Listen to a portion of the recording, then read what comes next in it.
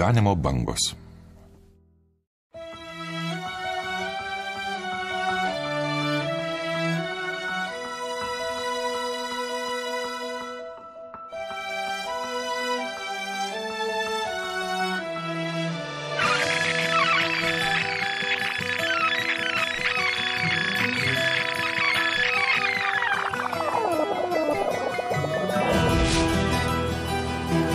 Prieš tris dienas.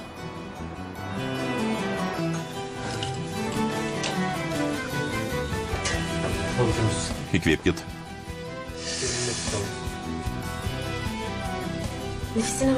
Jau gali iškvėp, brangusis. Nežiūrėk, nežiūrėk. Man kraujo fobija. Kas bus toliau? Peršviesim plaučius, o tada gausim dokumentus ir visai gali būti, kad laimingoji diena ateis anksčiau nei rytojus. Viskas? Viskas, tikiuosi, jums viskas gerai. Ačiū. Kan uyuşmazlığı mı arıyorsunuz? O kam jūs imat kraują? Nustatome kraujo grupę. Tikriname, ar nesergate hepatitu, sifiliu, AIDS. Nedaug dieve. Viską patikrinam. Ko sunerimai? Gal tavo vasara buvo audringa, kaip jie mano? Gal ko nors nežinau? Nesąmonė plaštakė, kodėl hastalık... Aš kalbėjau apie ligas. Bet o kiek visko prisižiūrim per televizorių, perskaitom laikraščiuose, net ir duodant kraują. Gerai jau. Nepradėk čia savo siaubo istorijų stokis. Greičiau susitvarkysim, greičiau išeisim.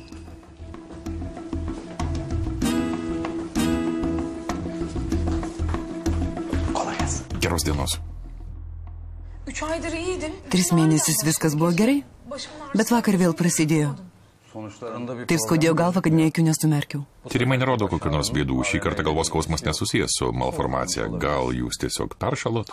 Taip, viešėjom saloj. Buvo labai vėjuota, gal olabilir. Gal. Tai man tikrai nėra ko bijot? Tikrai nereikia jaudintis. Džiaugiuosi. Bet nepamirškit saugotis. Nežinia, kada gali pasireikšti simptomai. Bilemeyiz. Her zaman temkinli olmak. Svarbiausia gyvenimo taisyklė turi būti visada saugotis. Taip, lyga nuolat apie save primena. Tai turi tapti norma. Tuomet viskas atrodys ir bus lengviau. Aslında bugün ben de seninle Beje, šiandien ir taip norėjau su tavim šnektelėti. Dėl ko? Į Stambulą atvažiuoja tavo lygos ekspertai iš užsienio. Jie siūlo alternatyvų gydymo Hastalığınla metodą.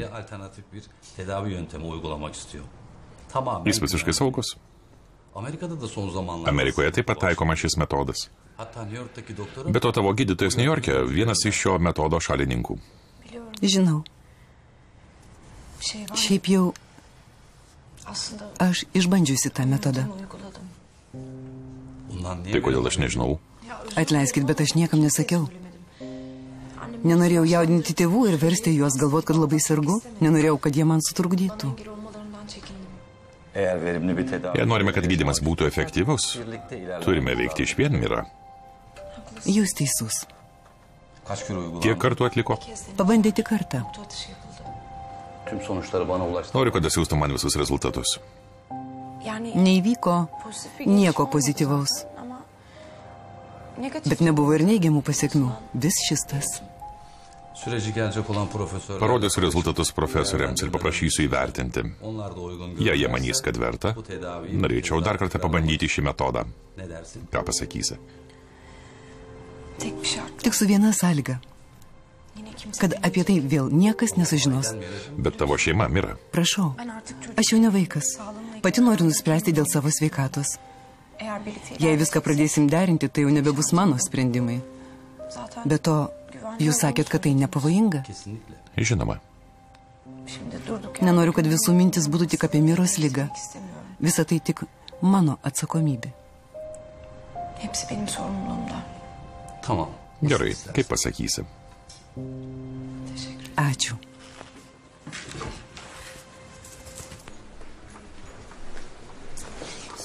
Nesidairyk, eik. Aš žiūriu, ar tai nieko nėra. Jei kas nors mus pamatys, turėsim pasakot. O šitą visai neketiname daryti. Dėl Dievo einam iš čia, mertai.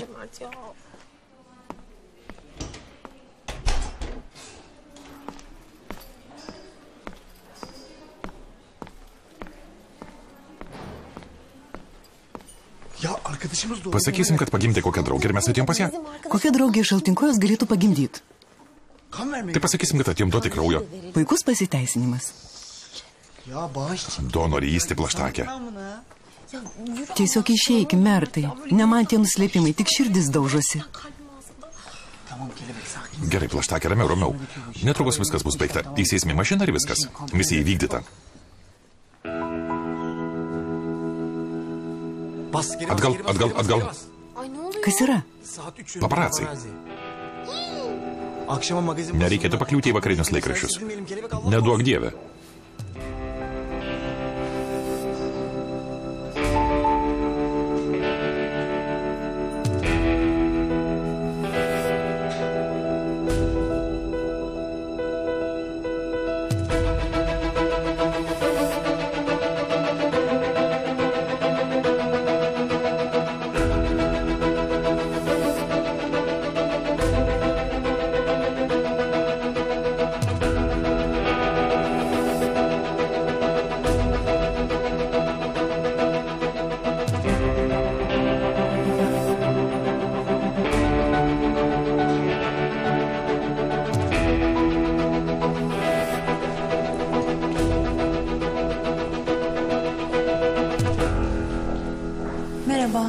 Sveiki, ieškoti seselės sesros.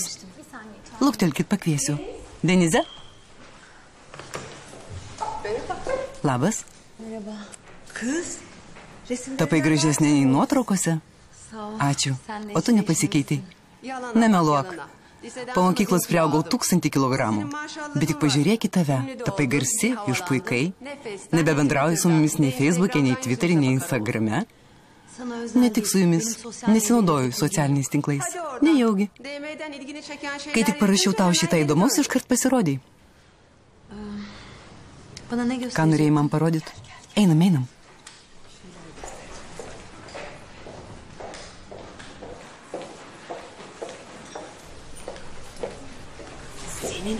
Šitą parodysiu apie tavo vyriškį. Kokį mano? Neapsimetinėk. Kas nematė jūsų filmuko? Esra, aš labai skubu. Turiu grįžti į darbą. Tada duok žodį, kad mano vardas neišplauks į paviršių. Negaliu žadėti to, ko nežinau. Tuoj parodysiu tau tokį dalyką, kad man net primokėsi.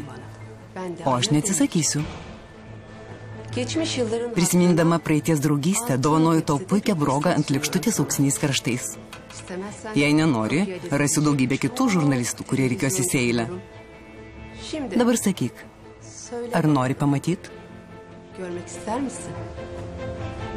Göster. Rodyk.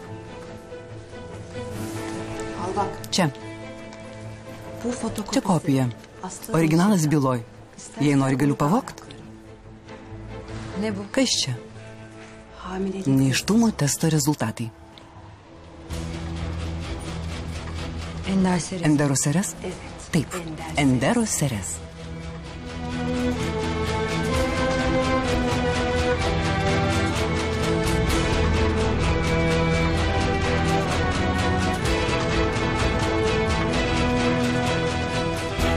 Şimdi bu adam Šis vyras atsirado mūsų gyvenime po Miros avarijos.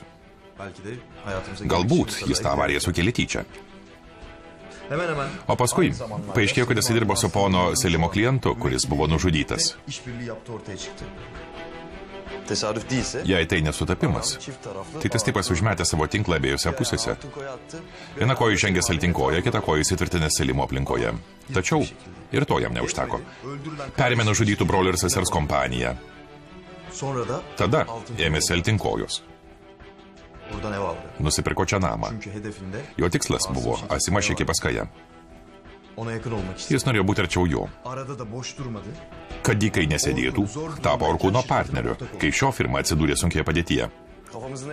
Kad ir kur pasisuktume, visur jis. Jei ta žmogus ir yra Turunčas Nadiras, kaip įtariam, tai jis nesutarė su mano tėvu. Galiausiai jam atkeršijo.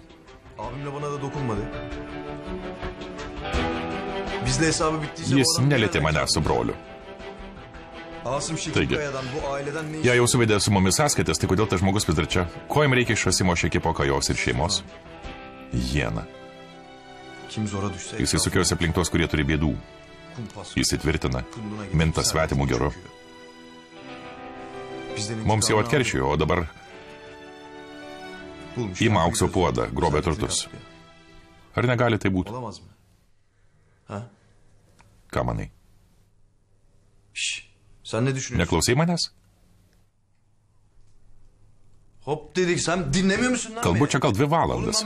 Ko čia vaipaisi? Lan ne sırıtıyorsun? O jei mes susituoktume su Eiliulė, ya şey kada nors, daha ileride ya. kurią nors gražią dieną, Günün birinde. Nasıl bir hayat? galvoju, koks būtų mūsų gyvenimas. Bunu hayal etmek zor değil. Svajoti nedraudžiama, brolau. Vallahi ben de bir saat. Visą valandą apie tai galvoju. Ben sana olacağı söyleyeyim. Papasakosiu tau, kaip bus. Tu, svarbiausias patarėjas atsimušė kipo kajos ekspertų grupėje. Ką? sen? Senelį paleidai iš kalėjimo? Gerai, gerai, gerai, kalbėk. Tapau pagrindiniu ekspertų grupės patarėju. Septynis dienas per savaitę leidai įvairiausiose susitikimuose. Bet nepamiršai ir karikatūrų. Her fırsatta çizmeye Pieši devam pasitaikus menkiausiai progai, ypač susirinkimuose, kurie tau nuobodus.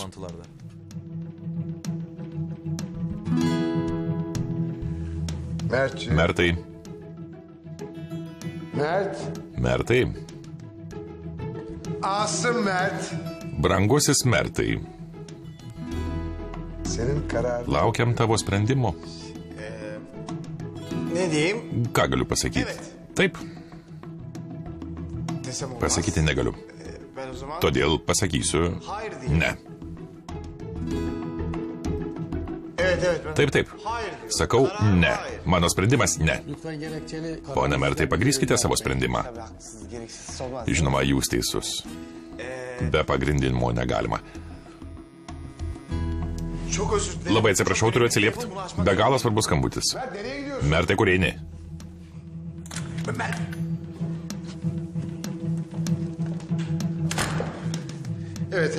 Kągi visi sakėm savo nuomonės. Şirket Pokyčiai kompanijoje nebus įgyvendinti. Kalbėk, mėloji. Brangusis vakare renkamės pas mus, vaikai norėtų pažaisti šaradas, ką pasakysi? Kelebeğim toplan. Laštakė, nežinau, kada baigsis susirinkimas. Negadink žaidimo, visi žaisim poromis. Jauna kartą turėjau prisijungti prie kitos grupės, nes tu vėlai grįžai. Suprantu, mėloji, bet negaliu jums išeiti iš susirinkimo. Dabar mane valdo Simo Šekipo Kajos grupė. Tiesiog iškeičiau savo laisvę į pinigus. Gerai jau gerai. Pasakysiu tau štai ką. Sakyk. Noriu žemės riešutų. Būtų labai smagu, jei atsiųstum jų per vairuotoją. Mano plaštakė dar ir laukėsi. Vadinasi, bent viena naktis man garantuota. Man tai pergalė. Pažiūrėsim, kokį gyvenimą jį tau užtaisys. Tegu, tegu. Aišku, ji rodys kaprizus. Mano plaštakė ona. Neįstengsiu jai paprieštarauti. Įsivaizduoju, kokia ji bus gražuti. Suvalgyčiau ją, suvalgyčiau. Kažkaip suskistėjai. Pas mus tai priimta. O kur būsi tu? Kodėl tavęs nėra šalia? E. Na, tu juk biure. E birlikteyiz Vadinasi, kaip įprasta mes kartu. Juk korkma. nepamesim mūsų vien dėl to, kad įsiskyrė su Mira, nes. Draugystėm. Belki siz de evlendiniz. Tai gal ir jūs susituoksit? Ne, aš nevedęs. Kodėl? Tapau başarılı bir... sėkmės lydimo architektu. Kaip mano mama? E, Tai ir tu dirbi mūsų kompanijai. Valio, kaip gerai. Ne, turiu savo firmą. Didžiulę. Plytų namas, aukštos lubos, visai naujas biuras. O, tai tu jau turi savo prekės ženklą. Aš daug dirbu. Olmuşuz. Net išgarsėjau. Vieną dieną tavo biuro duris atsidaro ir...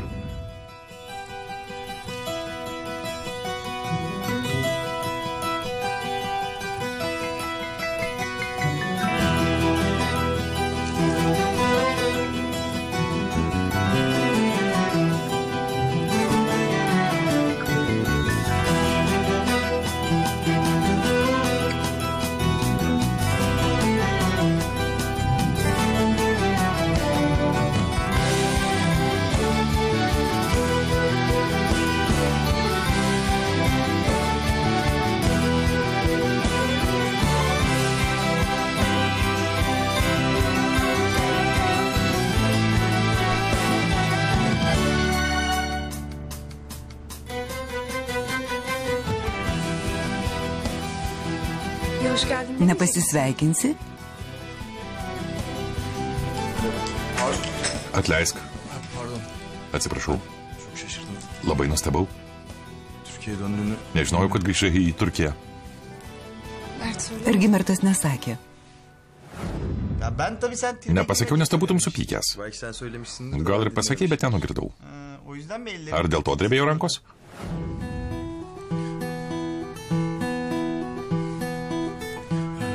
Hayır. Ne.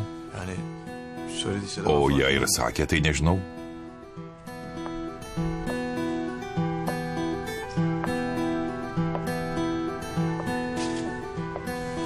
Tai sakai, kad tau tas pats?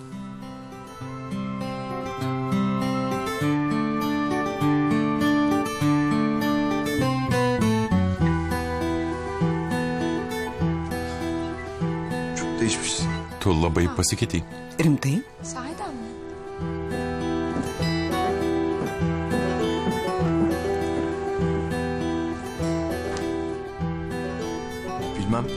Nežinau. Suaugai, subrendai. Tai tik mandagus posakis, kad pasenau. Ne, žinoma, ne. Ne tai norėjau pasakyti. Pavartė mane visišku kvailiu. Gerai, nepyk. Čia mano svajonės, dabar eilė man. Taigi. Evet. Paris'ten... jie grįžo iš Paryžiaus.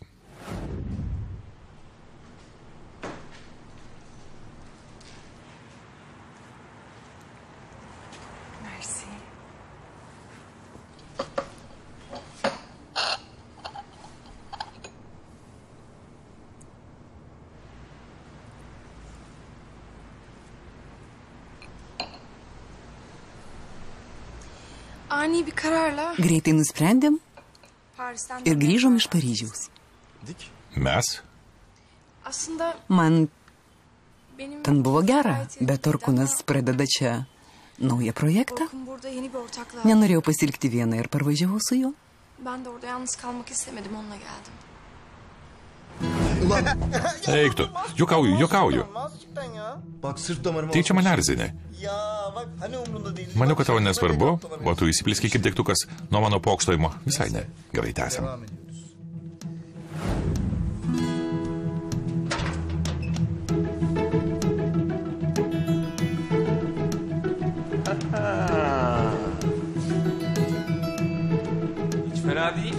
Neblogai. Işığı da güzel. Gražu. Ne haber Yaman? Kaip sekasi Jamanai? Aşkım Brangusis gerçekten nerede eikš. kaldın? Kur užtrukai?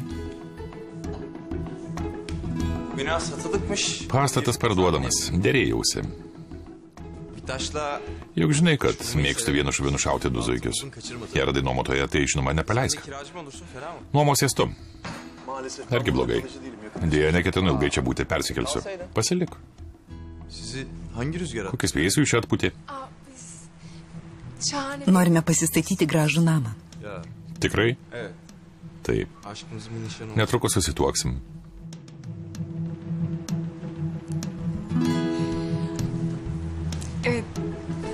Taip. Ir norim, kad tą namą suprojektuotum tu. Žinome, kokius gražius projektus kuri. Mums tas namas labai daug reiškia. Mes jame gyvensim. Sode žais mūsų vaikai. Gana. Užkniso tokios šnekos. Pyksti, pyksti, puiku, pyksti. Gerai, ponė teisėjau, daugiau klausimų neturiu. Neleidai pasakyti ne žodžio, kad jie gyvens kartu. Tai visai nesusiję, mane kviečia ponas Salimas išeino. Palauk, nepyk, einu ir aš, palauk. Beni de bekle. Burada hukuka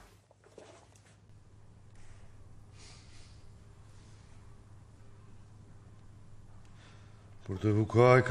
Čia nėra nieko neteisėto, bet visi mano veiksmai aiškiai sekami. Sakyčiau, jie iš anksto viską suplanavo. Kas atsitiko? O, atėjo Leila. Sveiki.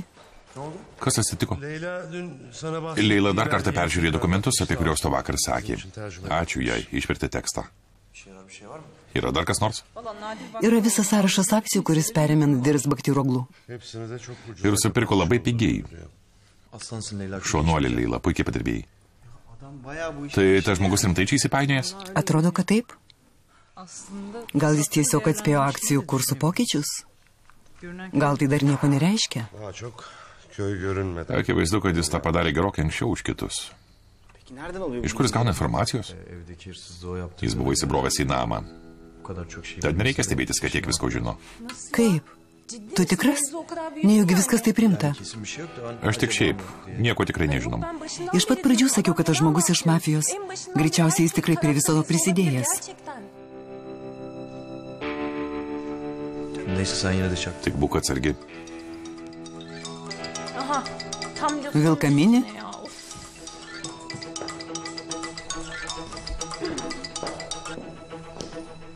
Efendim? Klausau, ponė Džengizai.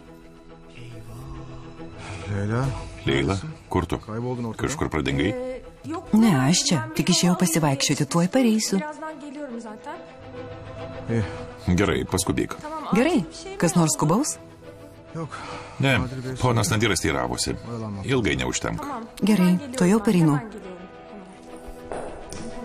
Turiu nedelsiant eiti. Nenutiko nieko blogo? Ne, greičiau grįžtų Aiša, nes mirsiu iš nerimo. Gel ben seni götür. Palydėsiu tave. Ne, ne, jei tave pamatys su manimi, imsi tarinėti, nedaug dievę. Gerai, ačiū už viską. Būk atsargi, Laimingai. nesijaudinkit. Sukėlė merginai pavojų. Nesutirštink spalvų.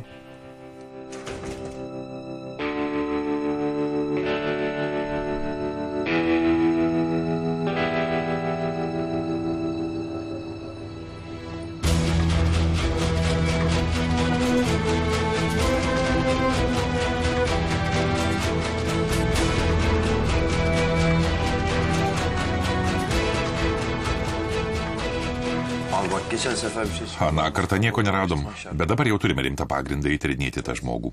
Taip. Eikime ir pasikalbėkim. Ir ką jam pasakysi, paklausė, ar jis įsiprovė į namą? Taip. Aš pratusi perimti firmas, gazdinti. Kieto tipo režimas. O, Denizė. Kas yra drebi? Neskiesk. Alo. Alo Sedef Hanım. Pone sakiau, kad jei sužinosiu, ką naujo paskambinsiu. Taip, kas atsitiko? Tai susijęs su ponė Endera. Jei tą informaciją gavau aš, tai ir kiti nesunkiai gali gauti. Gal vertėtų imtis atsargumo priemonių. Žinoma, kalbėkit.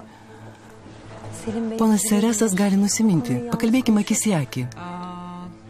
An- Suprantu, žinoma. Gerai. Iki. Kas yra? Ką ediyorsun pasakė? O kodėl klausinėjai, būtų norėjusi būti paskambinsiu tau, vadinasi, nenorėjo. O ko tu kišiesi? Ką, jau ir pajokauti negaliu. Et nieko svarbaus. Ji nori pasikalbėti dėl mano interviu. Te trūko, kad pasirodytų mano vyras. Būtų pats tas per tokį samišį, ar ne? Bu.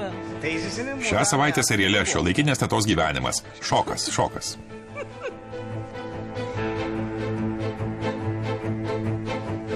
Tamam. Gerai. Rezultatai ne čia, kitame name. Aišku, kad perduosiu. Çok teşekkür Labai ačiū, daktarė. Gero vakaro.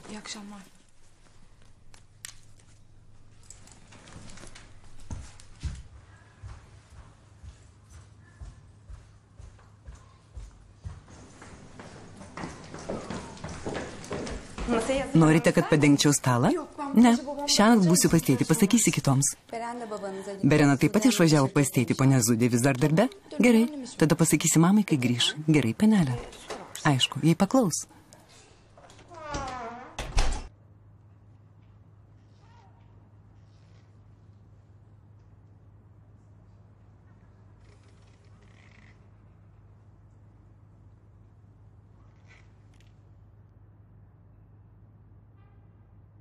Baba biz Tėti, mes išeinam. Eikš safari. Ne, ne, ne šiaip savo šovė. Niekada nebuvome pamiršę Turunčio Nadiro. Sūnau, nesuk valties. Neprisidaryk bėdų lygioj vietoj. Mama, negalvok apie blogiausią. Klausyk, peržiūrėk visus likusius tėvo daiktus. Gerai, pažiūrėsiu, bet kažin ką rasiu. Per daug nesitikėk. Bak eşyaların arasında... Net jei tarp tėčio daiktų rastum Nadiro turunčio dulkelę, atidėk į šalį. Jamanai, prašau, nedaryk nieko, kad neprisišauktum bėdos. Meldžiu. Tamam arayacağım seni. Gerai, paskambins vėliau. Bučiuoju. Safari. Safari? Vėl pabėgai? Ha?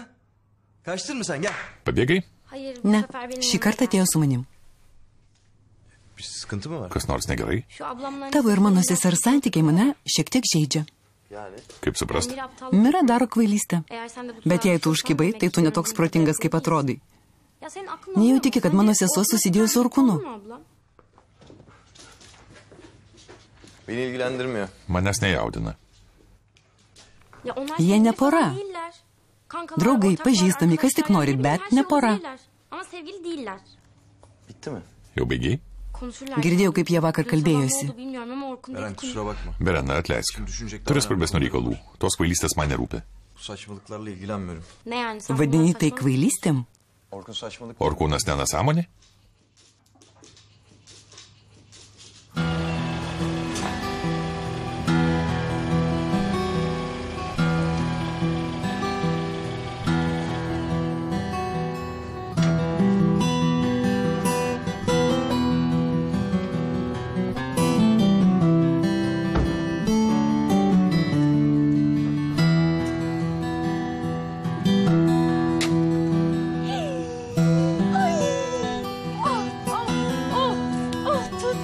Gražuolį, kaip aš tavęs pasilgau.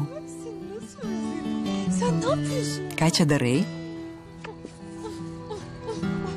Ay ben sizin kafanıza tüküreyim ya. Eikit jūs velniop. Kas yra Berena? Al birini vur. Vienas kvailesnis už kitą. Darykit, ką norit. Aš su jumis nesiterliosiu. Patys pasiklojot, patys ir miegokit. Nebesikišiu. Ay ben de kabahat ki ben sizin aranızı bulmaya uğraşıyorum ya. Bana neyse artık. Ne söyledin ya bana? Orkun'la Berena. bir şey Pati kalta, kai bandžiau jūs sutaikyti. Tai ne mano reikalas. Einam safari.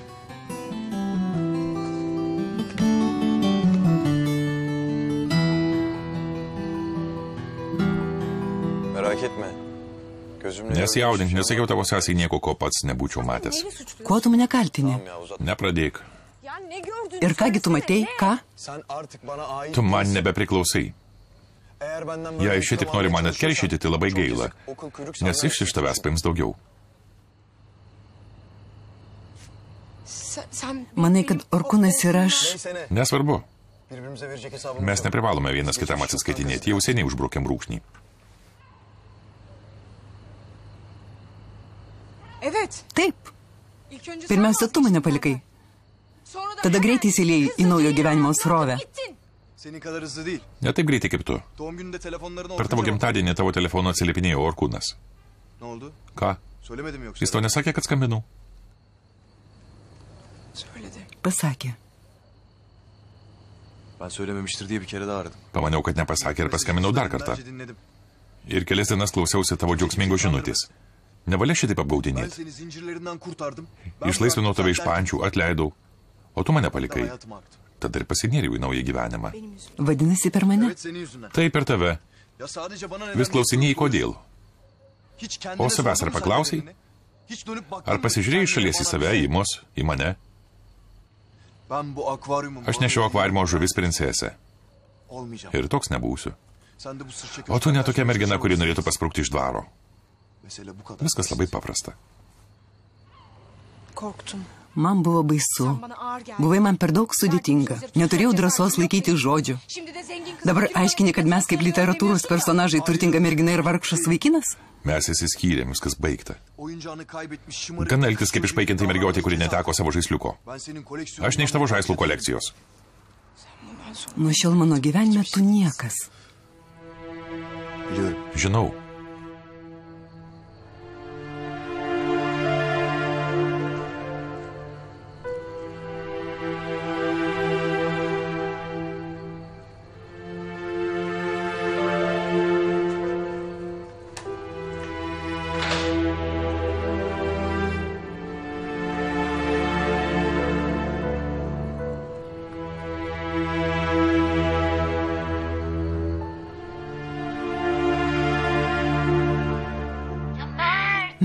Sakyk, kas dedasi, kaip jie.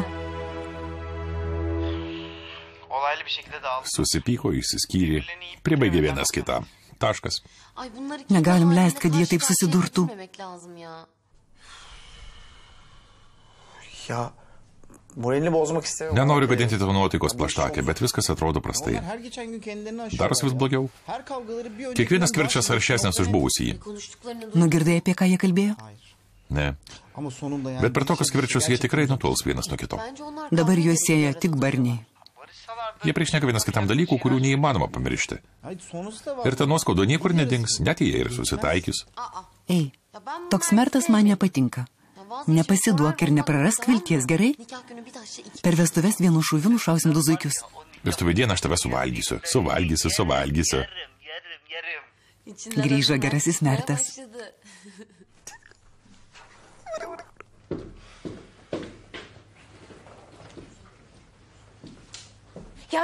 Kodėl nusprendė, kad gali kištis?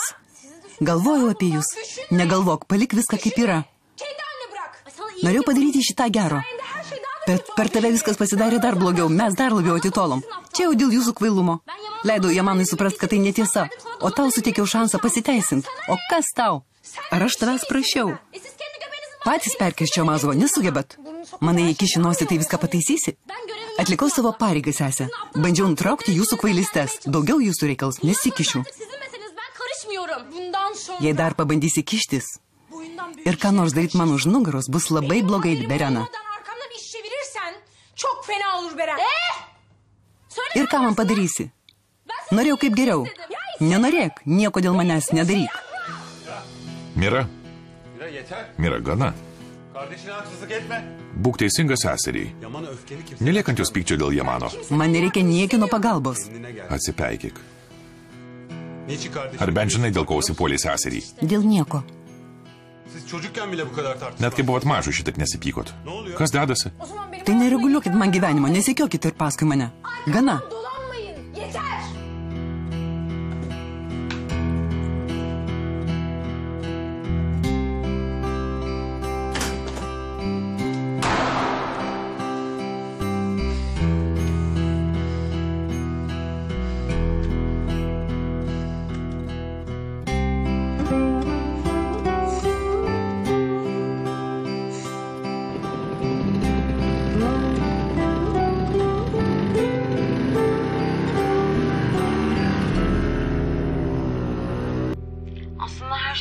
Šiaip viskas prasidėjo dėl Jamano.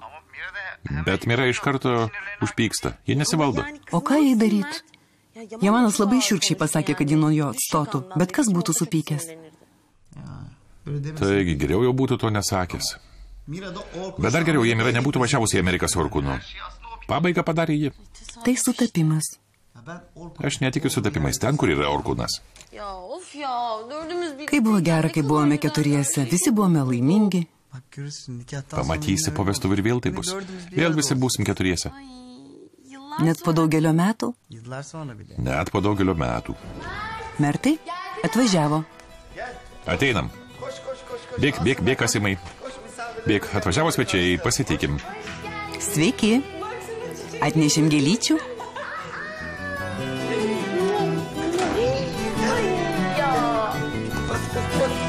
Kitą kartą taip neužtrukite. Gražuolė, eikš čia. Labas, brangioji.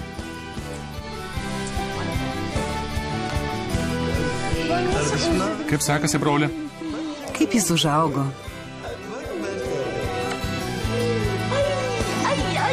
Negaliu patikėti, koks mielas. Renkia apdovanojimus, o mūsų visai pamiršai, brolau. Nekalbėk taip. Mums tikrai reikėjo atostogų. Jamanas pastaruoju metu labai daug dirbo ir vaikam buvo į naudą. Atostogos sutvirtino koperių meilę.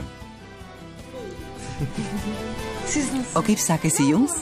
Viskas pasenoviai. Asım Mert de Asimas kocaman Mertas šitaip užaugo. Taip, dėdė užaugo. Asimai Mertai, jūs brolis ir sesuo, nedaryk šitaip.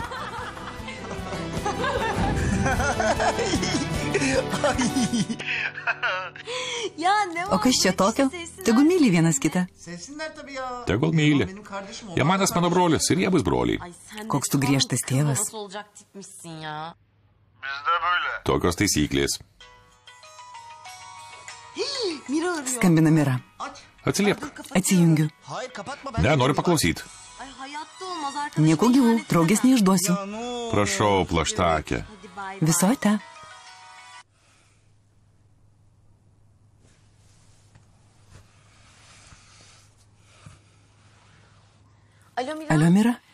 kesin Šį kartą tikrai viskas baigta, Eiliulė. Šį kartą tikrai viskas baigta.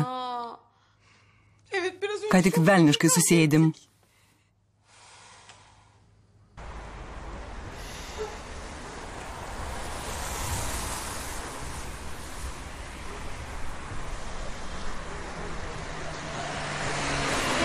Jamanai, ką čia darai? Elif çıkalım mı? Elifas, susitikinėkim. Mes tarėmės? Neprisimenu. Hayır yani o anlamda değil. Ne tai turiu omeny. Kalbu apskritai, susitikinėkim. O Dieve, tu karščiuoji? Nepanašus į ligonį. Ar sutinki? Čia pasimatymas? Nesupratau. Taip. Pakalbėsim ar susitikinėsim. Šiandien tau kažkas nutiko, palauk.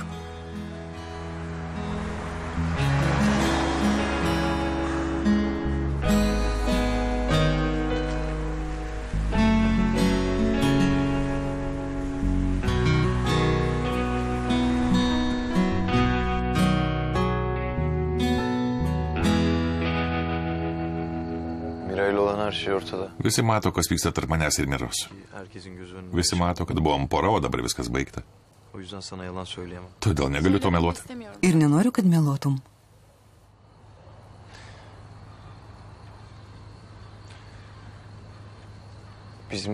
Mudu su Mira smarkiai vienas kitą įsimylėjom. Aš labai įsimylėjau. Ir to neneigiu. Ir vis dar myli. Ama artık bir Bet dabar viskas baigta. onunla olmayacağını Žinau, kad biliyorum. mums nepavyks. onsuz Ar olabilecek mi? ištarsi be jos? Dayanacağım. Pasistengsiu. Ya ben kendimi tanıyorum. Pažįstu save. Arıza çıkarırım. Pridaryčiau bėdų. Orkun'la tekrar birlikte olmayı Neištverčiau, kad jis orkūnu. Sen de Tad benim için mane iyisin. keršto įrankiu? Hayır öyle söylemedim. Aš taip nesakiau. Senden hoşlanıyorum. Tu man patinki.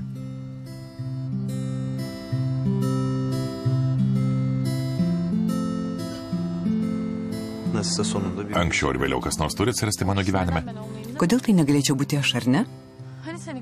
O kaip tie žodžiai, kad tu sutrikęs, sana kad jis oldu? visus, kas bus prie tavęs? Kas pasikeitė? Tu teisai niekas nepasikeitė. Tiesiog nutariau, kad praeitis tai praeitis. Labai noriu isterim. tikėti. Bet ir mano praeitį nemažai duženų. Neseniai įsiskyriau su vaikinu. Nenoriu to vėl patirti. Negaliu įsilaižyti žaizdų kaip šuo. Nieko panašaus tavęs ir neprašau. Be to, aš vertesnė nei būti antra. Iki šiol tu kalbėtavai vien apie mirą. O jei būčiau tavo mergina, norėčiau viso tavo dėmesio. bir Jei norit neši popieriaus rašiklį ir tu surašys visas sąlygas, gerai? Tai skamba kaip ultimatumas, bet bütün noriu, kad žinotum apie mano jausmus. Ir tu man patinki. Bet pats pasakei, kad mane įskaudinsi. Ama kendin söyledin. Sen beni üzersin. Ya ama söyleme böyle. Nekalbėk taip. Aš tavęs nekaltinu. Pažįstu save. Po kelių dienų iki ausų tave įsimylėsiu, o tu grįši pas mirą. O aš liksiu su savo skausmu. başlamadan Užbaigė romano jo demeyelim de. Nevadinkim to romanu. Neklijuokime? Bırakalım. Pažiūrėkim, kur vėjas mus nuneš. Aš pasakiau tau, ką jaučiu. O tu spręsk, kaip tau geriau. Man geriau taip. Aš labai patikli. Be to, tavim labai lengva patikėti. Tai sakai po truputį. Žinoma, jei tau tai patinka, man tai tinka. Tai sutarėm. Anlaştık. Sutarim.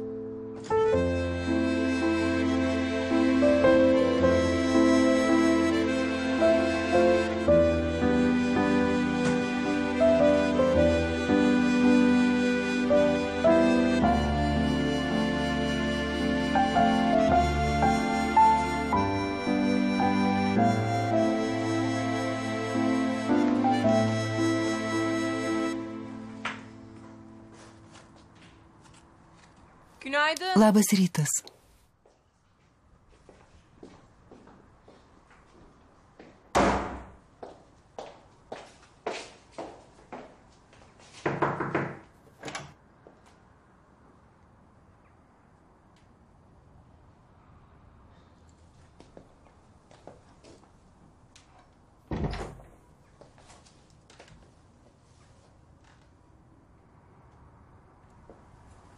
Prašau atleidimo. Vakar vakare buvau įtūžus. Džiaugiuosi, kad pripažįsti klaidą. Prašau atleisti už tai, kad apriekiau, bet savo požiūrio nepakeičiau.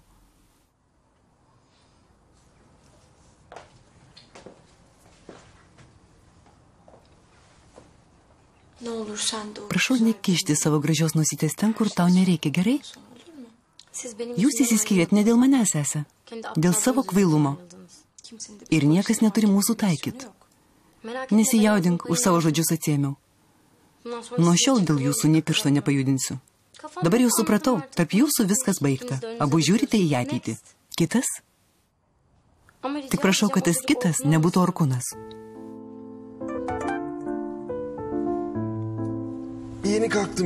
kadar. Ką tik atsikėliau, po pusvalandžio būsiu pas tave.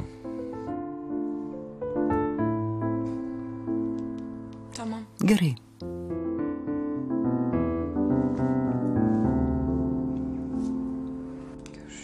Iki. Laimingai.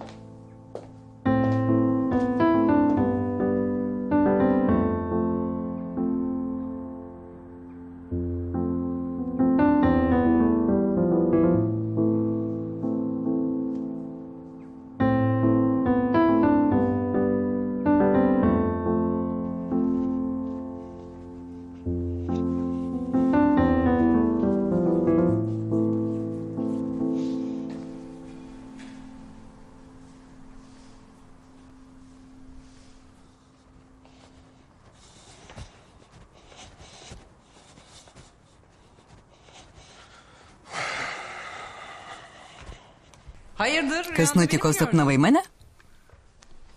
Atrodai baisiai surūgęs. Ne, sapnavau košmarus.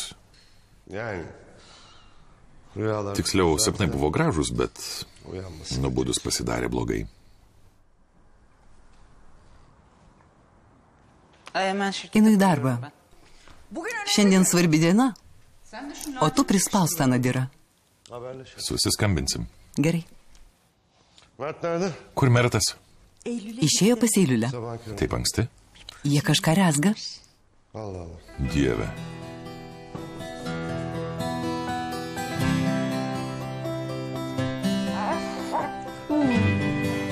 Aman aman eline de nasıl yakışır. Kaip tau tinka kūdikis? Iš pradžių būsi nuoteka, o paskui ir mama? Mertai negazdink. Ya O ko čia bijot? Mano mama buvo tavo amžiaus, kai gimiau aš. Klausyk, mes tuokėmės, bet su kūdikiu tikrai neskubėsim pažadį. Gerai. Jei po dviejų valandų pamirši savo pažadą, Pažadas tai rimta. Mano pažadas vestuvių data, o tavo kūdikio gimimo data. Šiandien paskutinė diena, kai tu eiliulė Buluter. Ką manai? Galiu pasitirauti, kokie tavo jausmai? Taip, keisis mano pavardė? Aišku, kad keisis. Būsi eiliulė seres. Ne. Būsiu eiliulė Buliuter Seres. Kodėl dėl santokos turiu atsisakyti savo pavardės? Eikš. Eikš pas mane.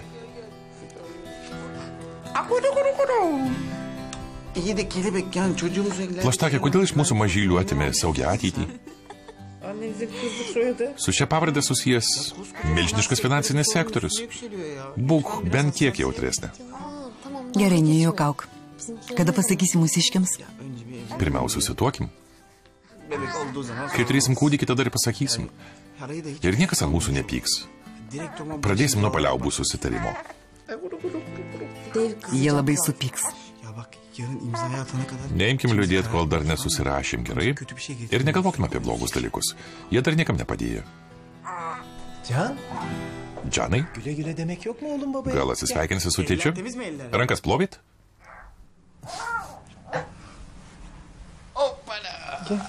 Yürü babacığım. Gel. Gel babacığım.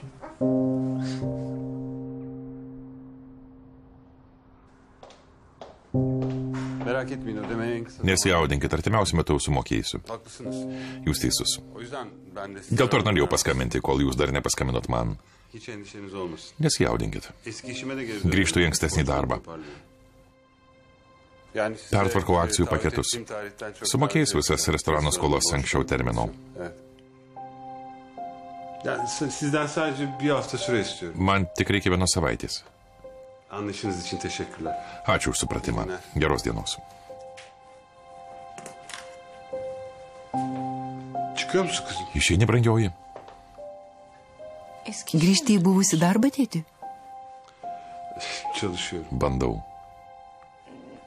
O kaip restoranas? Buvai ten laimingas? İlk başlarda öyle. Iš pradžių taip ir buvo. Kokios nors problemos? Hiçbir şey görünmüyor. Viskas ne taip, kaip atrodo. O kas pasikeitė? Mira, gal leisi, paskui pasikalbėsim.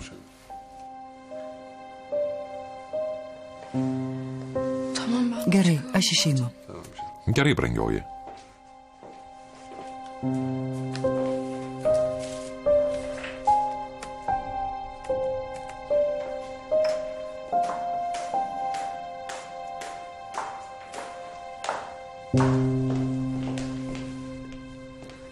Nepusryčiausit?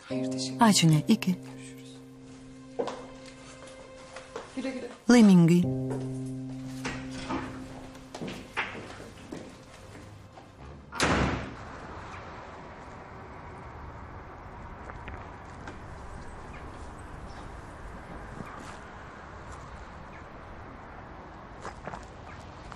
Selim abi. Pone Selimai, Ben bir Leyla'ya bakmaya einu pas Leilą. Kas nors atsitiko? Kol kas neskambinu, bet ji neatsiliepia.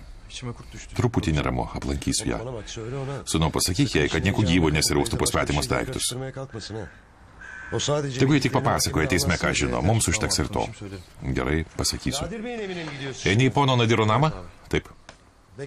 Palauk, pats tave nuvešiu. Nereikia, nueisiu. Vis tiek jau einu. Palauk, važiuosim kartu. Gerai, palauksiu prie vartų.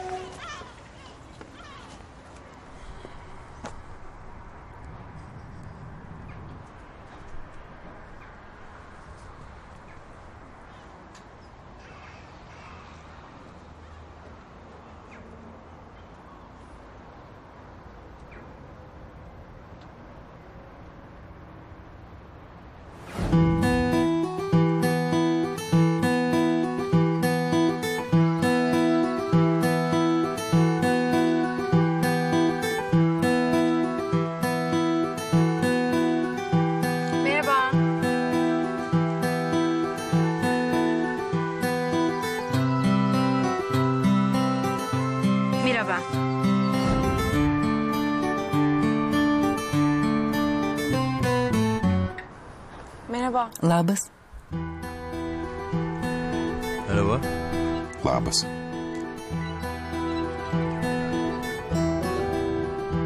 Bugün yepyeni bir gün hayatımızda. Šiandien visai nauja diena mūsų gyvenime. Bütün bir yıl... Pamirškim praėjusias.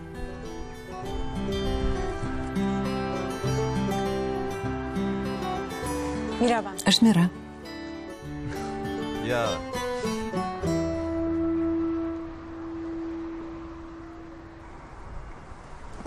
Ką reiškia tavo vardas? Kometos pavadinimą? Çok mu düşünmüşler sana bu ismi koymak Ar tėvai ilgai galvojo, kol tave taip pavadino? Tamam yine kızma. Tik nepyk. İyi anlamda söyledim. Šiandien pasakiau gražiuoju. Peki Gerai. salt yaman. Tiesiog Jamanas. Burada mı Tu gyveni čia? Aslında evet. Šiaip jau taip. Burada oturuyorum. Gyvenu čia. Vadinasi, dažnai tave matysiu.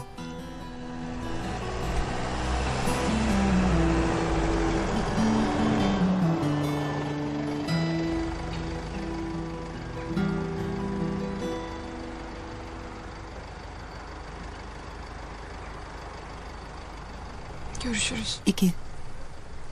Bakılır. Pamatysim. Bakılsın. Taip, pamatysim.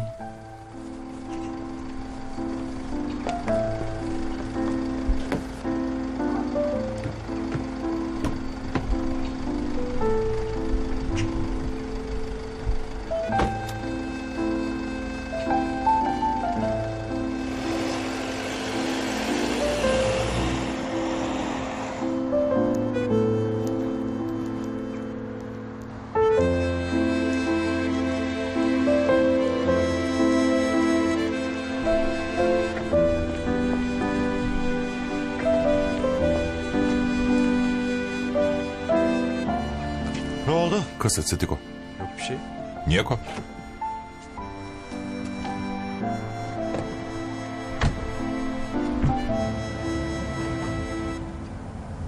Nasılsın? Kaip tu? Canını mı sıktın? Vėl prasta nuotaika. Tiesiog truputį pavargau. Nurimk, viskas bus gerai. Po šimts taip ir bus. Žinoma, tu patikimuose rankose.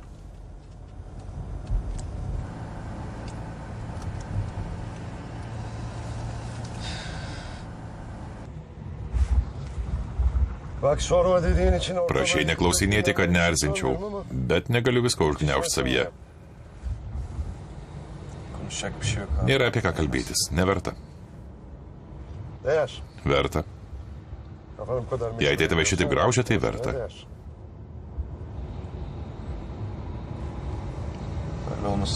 Pats norėjau, kad tai būtų.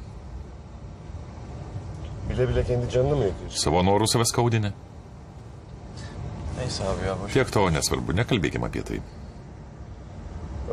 Kaip nori. Dabar turime galvoti apie Nadirą. Tai dabar svarbiausia.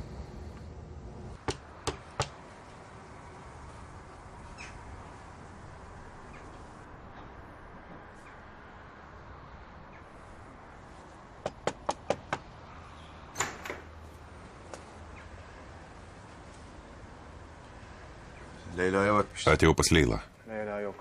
Leilos nėra. Kaip tai nėra? Ji išėjo? Taip. Išėjo apsipirkti į krautuvę pakrantį? Nežinau, kur išėjo, kuriam laikui atsiprašė. Man nesakė, kad atsiprašys. Ne mano reikalas. Kaip tai? Kur Leila? Iš kur man žinoti, iš kur atėjęs? Žinau, kad ji čia. Leila? Stok. Dink iš čia. Kur Leila? Ramiai čia į lauką. Paleisk. Kur Leila? Kas čia dedasi? Jamanai. Nurimk. Kas dedasi? Jie sako, kad Leilos nėra. Nėra? Atsiprašė iki vakaro, o kas? Jie man nesakė, kad atsiprašys. Ir neatsiliepė telefonu. Ką padarėte tai merginai? Sakykit. Klausyk, per dažnai pradėjai čia trintis. Tai ką? Turėčiau ko nors bijot? Kalbėk padariau. Mes neprasidedam su vaikais. Tu pats padariau kalbėk. Prieš tave čia vaikų nėra. Pone Salimai, tikrai stebiuosi jūs čia matydamas. Jūsų šeimoje tiek bėdų, jūs lakstote paskui tarną? Dėl mano bėdų kaltas tu. Ir labai nedaug trūksta, kad tai įrodyčiau. Su Birolu panaudojo iš mūsų pavoktą informaciją. Viskas išplaukė į paviršių. Ponas Birolis pareiškė, kad pasitraukė iš konkurso, kurį neseniai laimėjo, nes nepajėgė išpildyti konkurso sąlygų. Todėl užsakymas automatiškai pereina Asimo grupiai. kararı aldıklarını belirtti.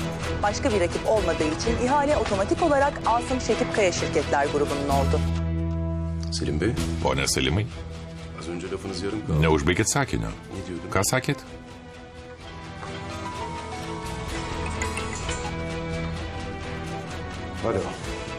Selimai, matei naujienas? Jie paskelbė pareiškimą, atsisakė sandorio.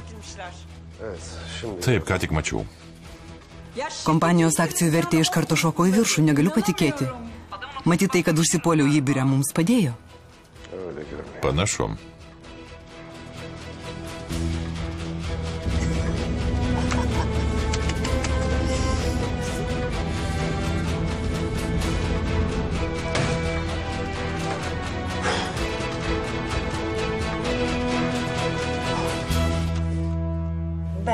Juk sakiau.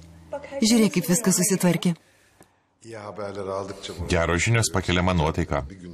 Kitaip daugiau nei dienos čia nebūčiau ištvėręs. Jei būtum buvęs kartu, valdžiau susirinkimą. Nuo mano sumanimų daugeliu atvipo lūpos. Net Sedefa vos nepabučiavo man rankos. Net Sedefa? Taip. Suplanavau tokius veiksmus, kad nelaimėti tiesiog negalėjau. Tikrai? Tu manimi netiki? Aišku, tikiu. Jei nebūčiau tikėjęs, nebūčiau tau suteikęs įgaliojimų. Pirmiausiai suteikė jį Sedefai. Bet aš laiku prisijungiau. Bet ir jį gerai tvarkosi. Taip, bet ji neturi naujo projekto. Tęsė senus darbus. O aš turiu puikių sumanimų ateičiai. Kas patarinėja taktikos klausimais dėl naujo projekto? Selim olduğunu düşünmüyorum. Nemanau, kad Selimas. Gal Farukas? O pati negaliu sugalvot? Aišku, gali. Bet vis tiek klausiu. Juk žinai, kad viskas turi būti paslaptyje. Žinau, tu pasitikė Faruku. Prašau, nebespausk manęs ir nebenervink. Farukas čia niekaip nesusijęs. Nepyk, mylimoji. Tik nepyk. Tu puikiai tvarkaisi. Didžiuojuosi tavimi.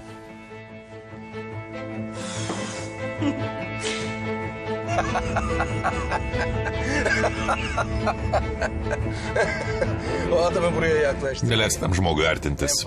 Jis neteko ir pinigų, ir sandorio. Pasirūpink, kad iš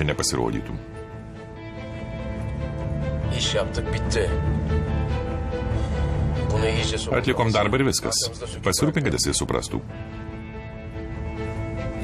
Nepalikime paskui save palaidų galų. Onlar bizi Tegul loja kiek tik nori, mums jie neįkas. Tegul kol kas mėgaujasi kaulų, kurį jiems numečiau. Vis tiek perimsiu iš jų kompaniją. Gerai, kai paruoš visus dokumentus, pranešk. Gerai. O tada tegu plaukia pinigai.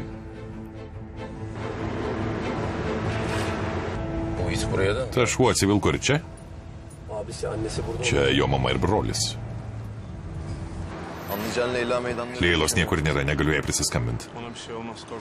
Jei viskas bus gerai, nebijok. Čia tikrai kažkas negerai. Kaip galima pradingti vidury baltos dienos, man tikrai neramu. Jei kažką įtari kreipėsi į policiją, netrukdyk man.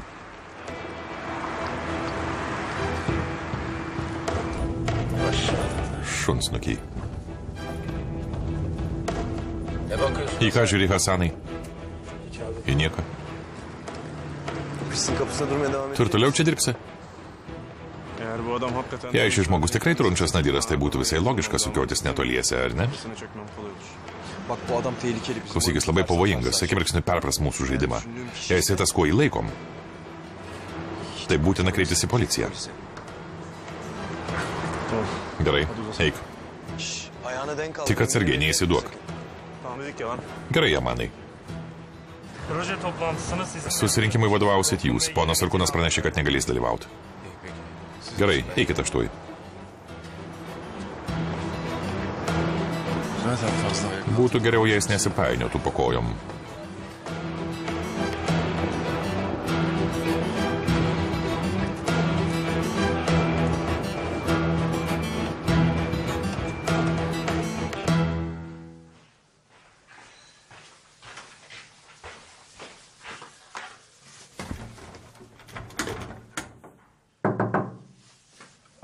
Ayşe. Aiša,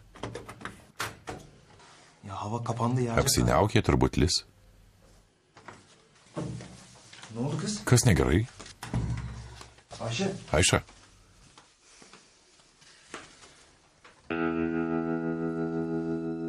Nereden buldun? Iš kur tie pinigai? ko lendi į mano daiktus? Pavogėjai iš Orkuno džiavanuglu? Dėl Dievo sakyk, iš kur pas tave tiek pinigų? Nekalbėk nieko, ką aš dar pavogiau. Čia mano pinigai. Jei vėl pateksi už grotų, pirmą tau įspirsiu, supratai? Gerai? Spirk, spirk. Kai į duris pasibels policija, pirmą imsiu išnekėt. Tada jau policijai turėsi aiškintis, iš kur tie pinigai. Ką čia išnekė apie policiją? Pamišėlė. Tai mūsų pinigai. Atlikau vieną darbelį ir gavau pinigų. Ir viskas. Nieko neapiplėšiau. Įsikalk į galvą ir nesikabinėk. Kai juos švaistai, tai buvo gerai, ar ne? Tada tai tylėjai. Tai dabar vėl patylėk.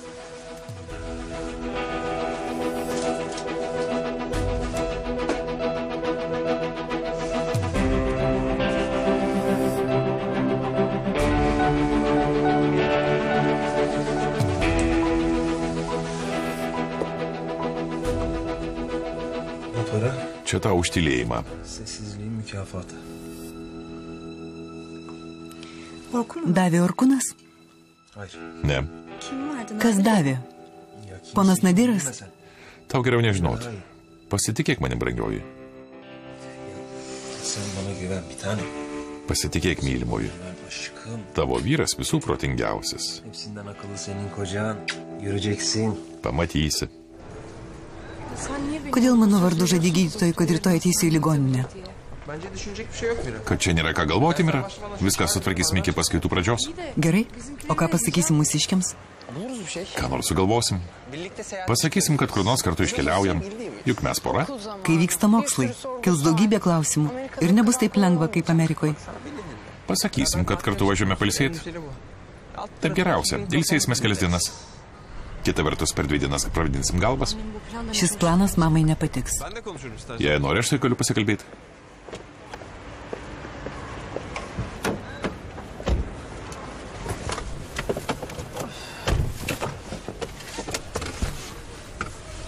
O tau nereikia į darbą. Nesijaudink, ponas Nadiras viską sutvarkys.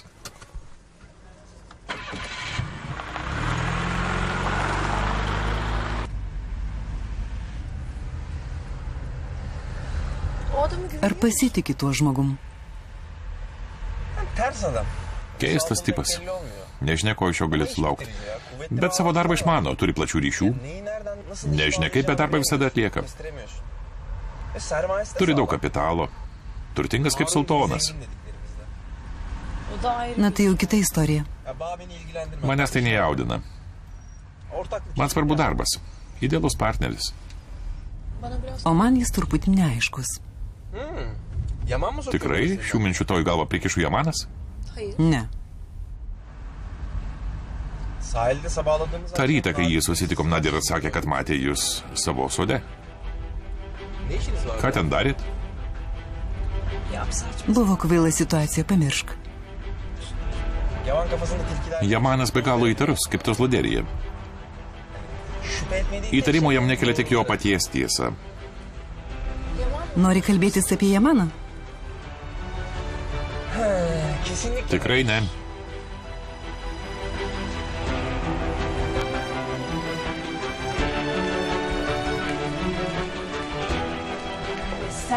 Tu mane stebini, Denize. Ei, palaukit.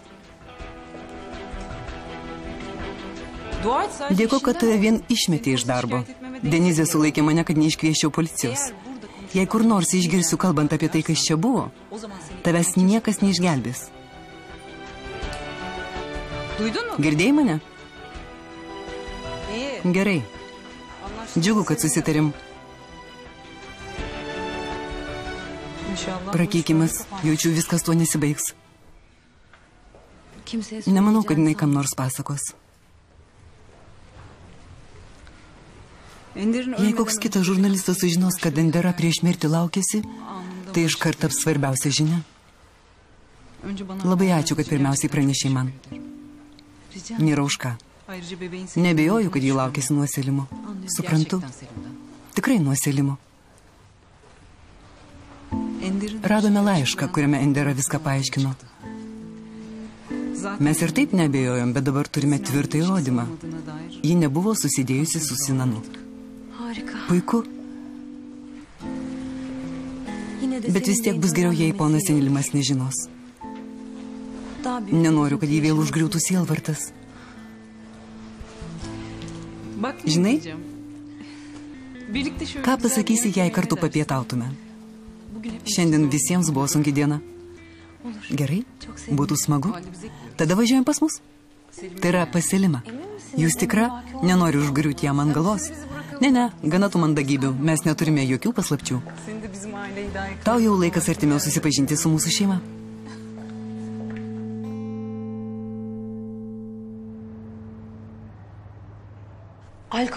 Sustiprėjus alkoholio poveikiu, jaunimas mėgstantis šokti pradeda tampyti štai taip.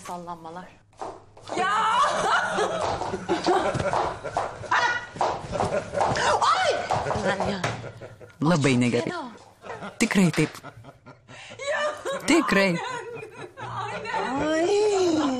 Bjauru. Matau, turite didžiulę patirtį. Didžiulę. Aš per blaivą Hanım.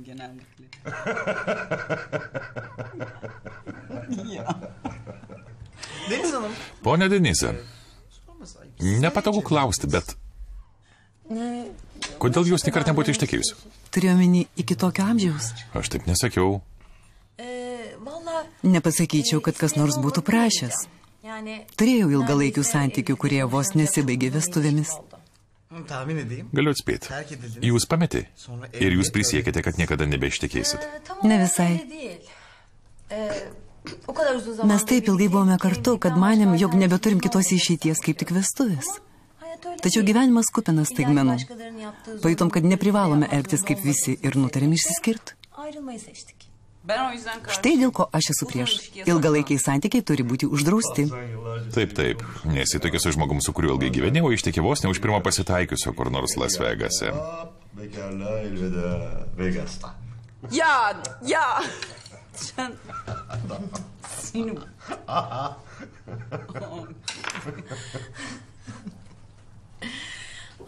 Kartais žmonės pripranta prie meilės, o kartais gyveni toliau iš įpročio, nors tos meilės nebėra. O, Jamanai, sveiki, kur buvai? Labas vakaras. Ieškojau Leilos, bet neradau nei jos, nei Burako. Telefonas vis dar išjungtas. Leila tavo mergina? Buvus. Atsiprašau. Nieko baisaus. Nereikia atsiprašinėti. Šiaip jau dabar jis išgyvena dramą su Mira. Leila senovės istorija. Aišku. Mertai. Jamanai sėskis. Nusiplausiu rankas. Šiandien tu geros formos, vertimiškus. O kas čia tokio? Jei žino apie Leilą, tai tegu žino ir apie Mirą. Ten pagrindinė siužeto linija. Juk į žurnalistė. Derija Denizė. Yani düşünebiliyor musun?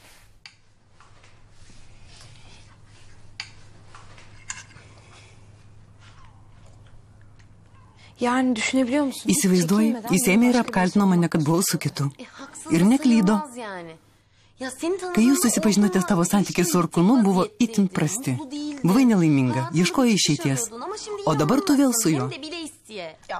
Tai tik atsikalbinėjimas, Eiliulė. Orkunas niekaip nesusijęs su mūsų įsiskirimu. Bet dabar jis kliudo jums susitaikyti. Juk kalbam apie Jamaną. Žinai, kaip jis reaguoja, vos nulaiko rankas. Kas žino, kaip jis mintyse judu įsivaizduoja.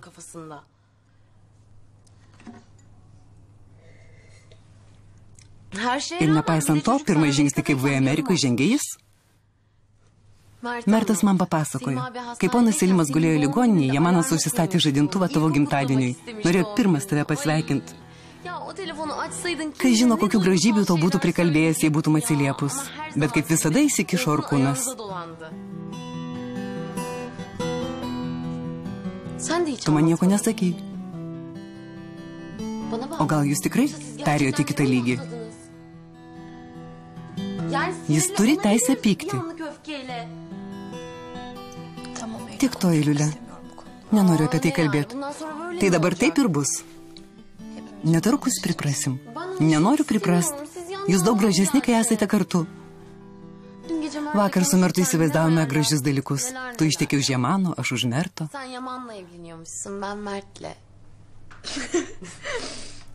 Taip. Jamanui santoka kažkas iš neįmanomų. Kai susitokė Merto tėvai, buvo mūsų amžiaus. Jamanas, kaip ir ponas Selimas, idealistas. Jis taps architektu. Įkurs savo firmą. Ir tikrai nesugraus tavo svajonių, tik skatins. Manau, Jamanas bus tikra rakšti subiniai. Jis bus nervingas, skeptiškas ir globėjiškas. Ir iki išprotėjimo mane užknisinės. O aš manau, kad jis bus puikus tėvas. Būtų šaunu.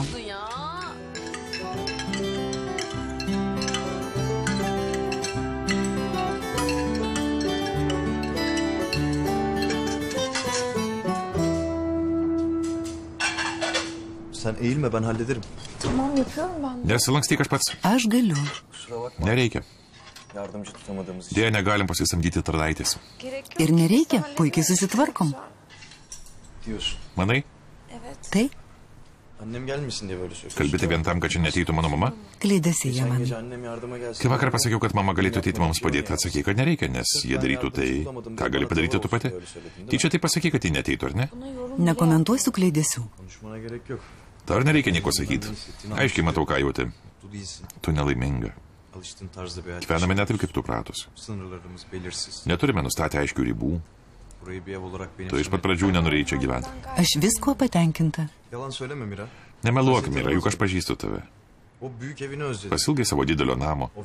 Gyventi biure ne tau. Jamanai, iš kur ištraukiai? Vakar vakar aiškiai pasakėjai, kad kai gims vaikai, čia bus tikras vaikų darželis.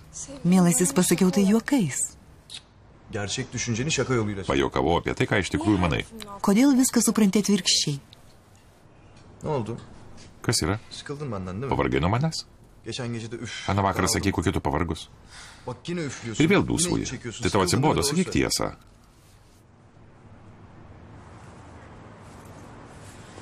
Mylimasis. Brangusis, noriu turėti namus, kuriuose būtume laimingi.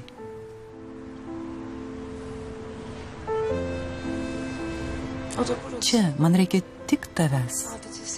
Daugiau nieko. Başka bir şey değil. Nesijaudink gerai. Huzursuzluk yapma olur mu?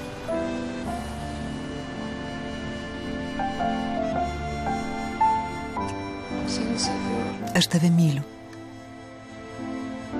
Gerçekten seviyor musun? Tikrai myli? Myliu. Yok. Ne. Pažiūrėjai į dešinę, kai tarėte žodį. Nemyli. Na čia jau perlinkiai. Pažįstu Jamaną. Visą gyvenimą Jamanas bus lyg apsėstas dėl mano gyvensenos jaunystėje. Jei pasakysiu, kad lyja, tai jis sakys, kad pavadinau jį Antim. Išves mane iš proto.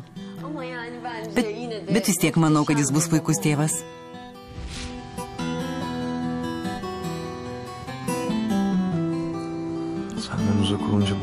Kai aš nesu tavim, vis prisimenu tavo kvapą.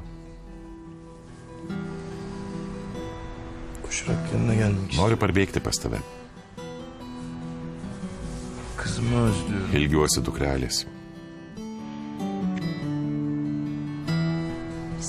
Ir mes tavęs ilgimės.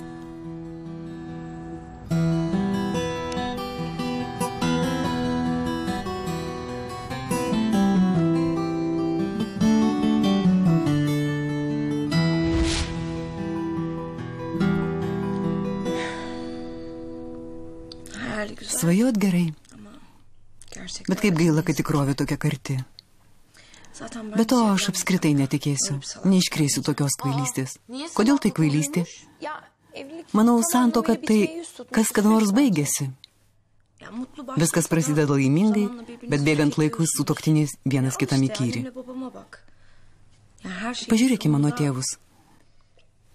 Sakyčiau, laimingų santokų nebūna. Bir virsta vienatve.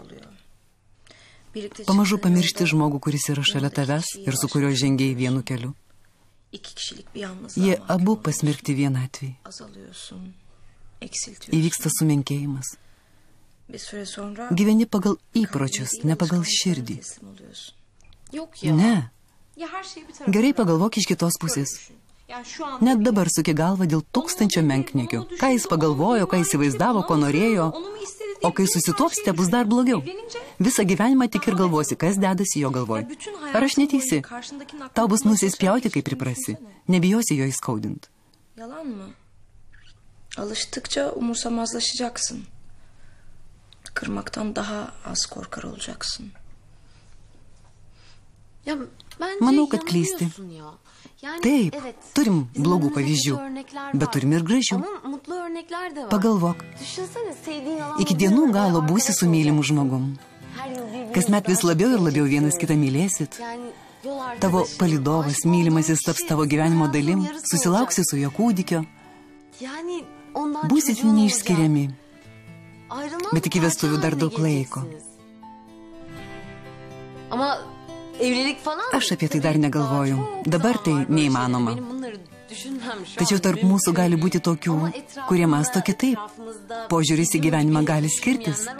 Tai yra, tie žmonės gali staiga susituokti. Yani ani bir kararla evlenmek isteyenler olabilir yani aramızda. Nasıl? Ką turiu omeny? Lagaminas, kur išvažiuoji? A, taip, nepasakiau. Rytoj su Arkunu važiuosim pailsėti. Ką? Jie spontaniškai suplanavo kelionę. Nei šventiniai polsio dienos, kokie dar kelionė, kai mokslai. Ir aš nesupratau. Jei taip daro, kad persintų Jamaną, tai šitą jau per daug. Dar neperpratau, kokie ten jų santykiai, daugybė klaustukų. Na, bus matyt. Jei rytoj mums viskas pavyks, tai pabaiga bus laiminga. Bijau, kad santykiai pasitaisys, bet jie vis tiek nebus pora. Liaukis mertai dėl Dievo. Ir taip viskas sujukta. O kodėl sujaukta, kas nutiko? Galvoju apie Mirą ir Jamaną. A, apie juos. Kada lėktuvas? Po pietų. Jei tinkamai suplanuosim, jinai spės į ceremoniją. Bet reikia, kad niekas nesutrukdytų. Tarkim, mes nesusituoksim.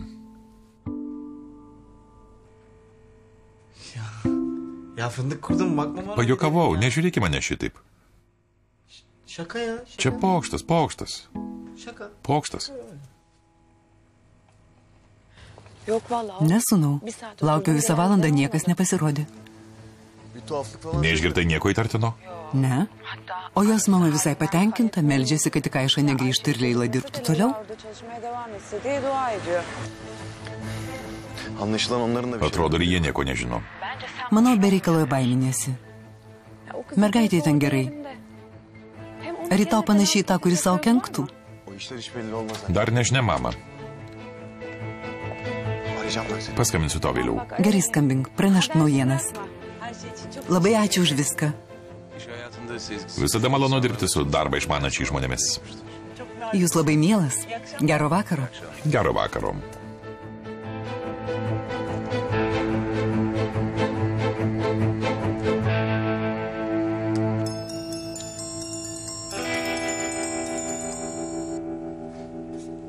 Açmıyor.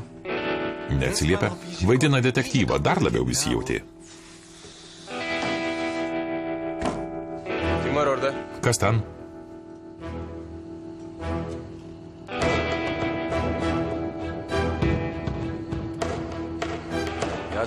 Tavęs jau per daug. Ko dabar iš manęs nori? Laukiu draugės. Sakėt, kad išėjo, bet jos iki šiol nėra. Jau çıktı. peržengė ribas. Mano kantrybė irgi neberybė. Ar kasdien turėsiu su tavim terliotis? Tuomet pasakykite, kur Leila. Ką jie padarėt? Arba tuoj pat dingsti, arba kviečiu apsaugą. Niekur neįsiu, kol nepamatysiu Leilos ir neįsitikinsiu, kad jai viskas gerai. Jamanai, Leila, şey tau viskas gerai? taip, o kas atsitiko? Kur tu buvai? Aš visą dieną ieškau. Pasėmiau laisvą dieną, o telefonas iškrito ir sudužo. Dėl ko manęs ieškojai? Nusileisk, pasikalbėsim. Negaliu, turiu darbo. Leila, nusileisk. Gana šitų kvailyšių. Klausyk, jei dar kartą pamatysiu tave prie savo namo, tai apie savo bėdas aiškinsi ne apsaugai, o policijai.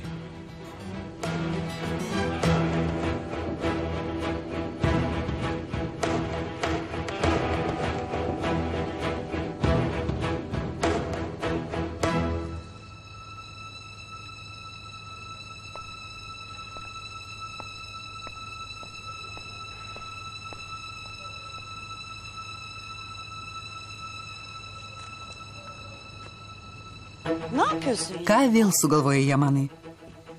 Kas per rinksmai gatvėje? Pone Zudė, tie žmonės labai pavojingi, laikykitės nuo jų atokiau. Atsipeikik, ar bent žinai, apie ką kalbi? Galiausiai aš visiems įrodysiu, kad tas žmogus ne tas, kuo apsimeta. Jis vagis ir nusikaltelis.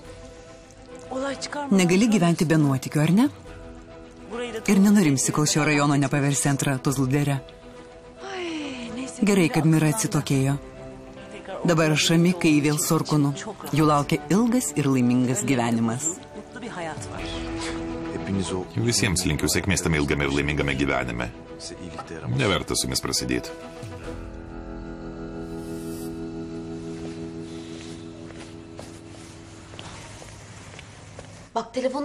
Telefonu kalbėsi taip, kaip susitarim. Gerai, neprasitark iš jaudulio.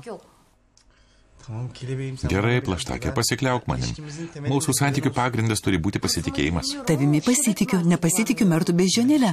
Nesijaudink, puikiai susitvarkysim. Kas čia dedasi? Nieko. Su plaštakė kalbėjom apie ponę Denizę. O kas ta ponia Denizė? Šaunuolį plaštakė. Šaunuolį. Ir tu dar mokai mane? Ai, taip, ta ponia Denizė. Taip, ta, kuri karėsi mano tėvą ant kaklo. Taip, taip, kalbėjom apie ją. Jums perkaito smegenys. Man visai neįdomu. Visai.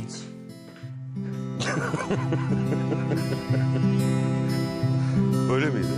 Rodė šitaip? O argi ne? Argi ne taip jie šoka? Nežinau, turbūt taip. Bet jums išėjo gražiau. Jūs labai gražiai juokėtės. Tai yra, net kai juokėtės jaučiamas liūdėsys. Tačiau aš pirmą kartą matau, kaip juokėtės iš širdies. Šiandien iš naujo vienas kitą pažįstam. Ir dar žinau, kad gražiai dainuojat.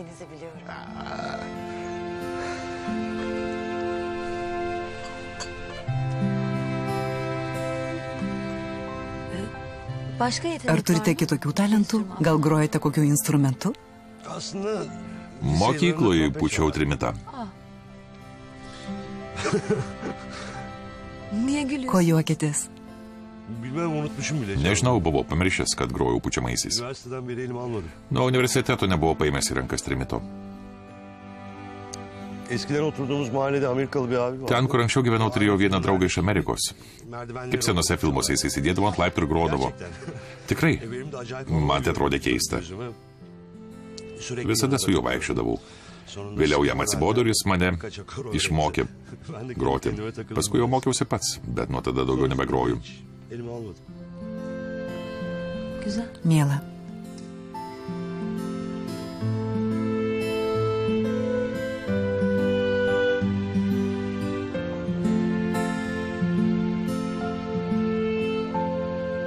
tarafta da O başka anoje trafik- pusėje judėjimas? Hmm, bu evin hareketi hiç bitmez. Šiame name judėjimas nuolatinis.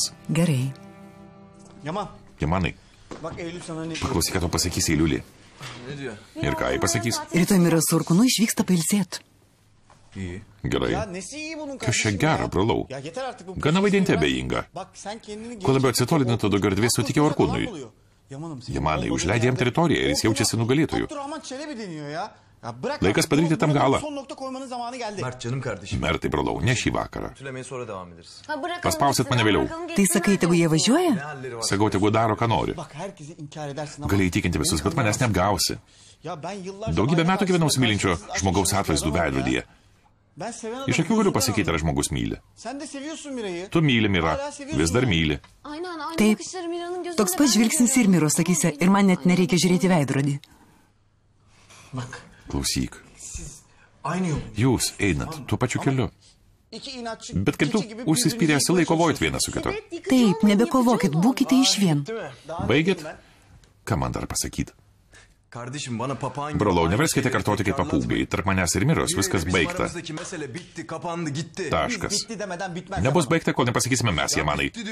Sakau, kad baigta. Baigta. Ko čia prisikabinot?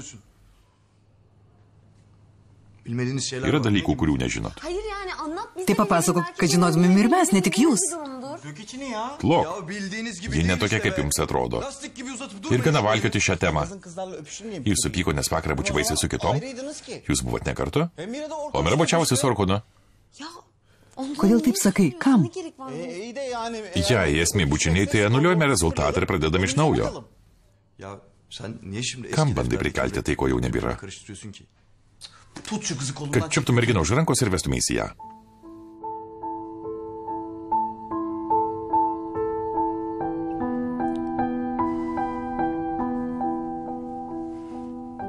Zamansız atılan Platų žingsniai, adımlar žengti netinkamu metu, atveda prie didžiulių nusivylimų, brolau. Kartais teisingiausia plaukti pasroviui.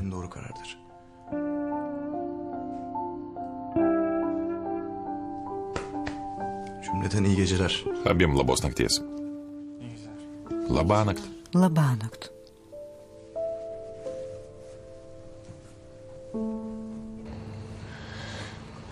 Ačiū už viską. Vakaras buvo nuostabus.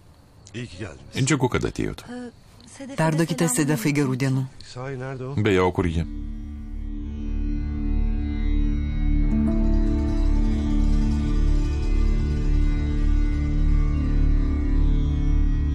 Mert.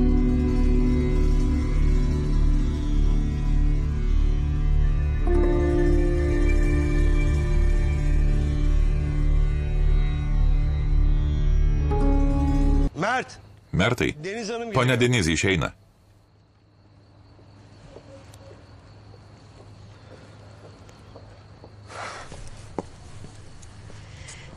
Buvo malonu susipažinti. İyi. Gerai. Yani çok iyi. E,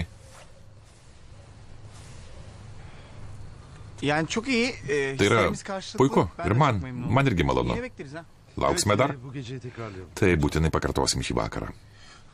Ėmė plaštakę palydėsiu. Šiaip jau ponia Denizė važiuos pro mūsų namus, tau nereikia. Pavešit mane? Žinoma, pavešiu. Tada gerai. Gerai, labanaktis. Labanakt. Paskambink, kai parvažiuosi.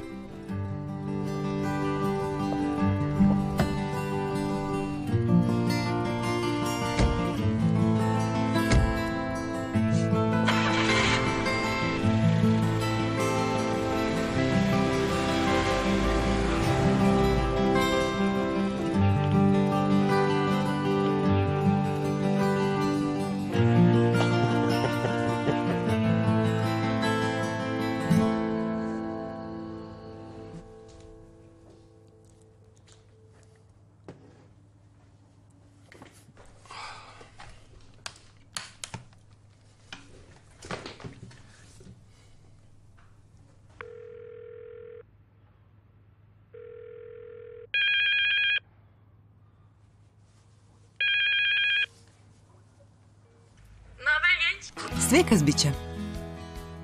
Kız ne oldu sana? Kas tau? Mankštinuosi. O Dieve. Šiandien nepaskambinai mane, apsigalvojai? Ką veiksi rytoj? Nieko. Visą dieną laisva, o ką tu?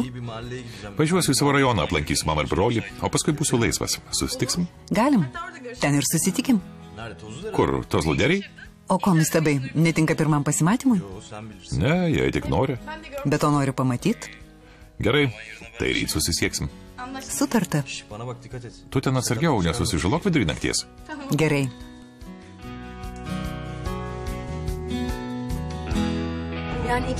Jūs abu čia gimėt, turbūt draugaujat nuo kūdikystės. Ne visai taip. Mes draugai tik tai metai. Anksčiau vienas kitą erzinom. Ypač jis mane. O kai susipažinom, aš pamilau Mertą. Dabar mes mylime vienas kitą. Mert'e aşık oldum ve şimdi birbirimizi çok seviyoruz. Kaip miela. Įdomu, kaip bėgant laikui kinta žmogaus jausmai, ar ne? Su amžiumi kinta ir mąstymas. Taip, imi pastebėti tai, ko anksčiau nepastebėdavai. Pavyzdžiui, Merta. Su kiekvienais metais viskas nors keisis. Prioritetai, vertybės. Taip manot? Aišku, charakteris nesikeičia, bet prisimenu pirmus metus universitete. O Dieve. Buvo linksma? Dar ir kaip. Prikrėčiau tiek vailyščių. Bet nesigailit. Ačiū Dievui, nepadariau nieko, dėl ko reikėtų gailėtis. Bet kartais kvaili jaunystės poelgiai gali persiekyti metų metus.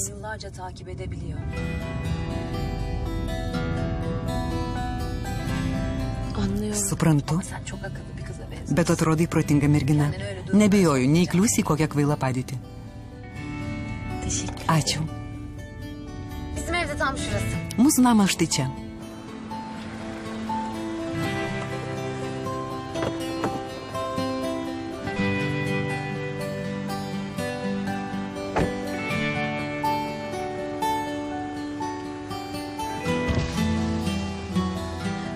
Dar kartą ačiū, kad pavežėt.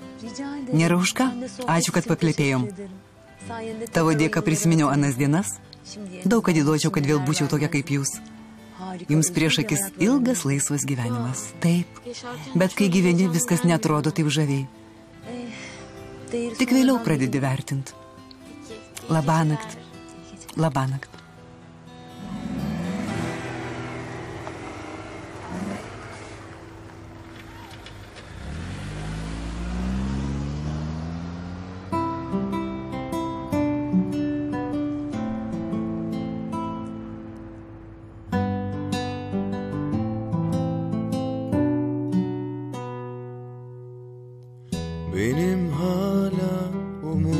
Aš vis dar turiu vilties.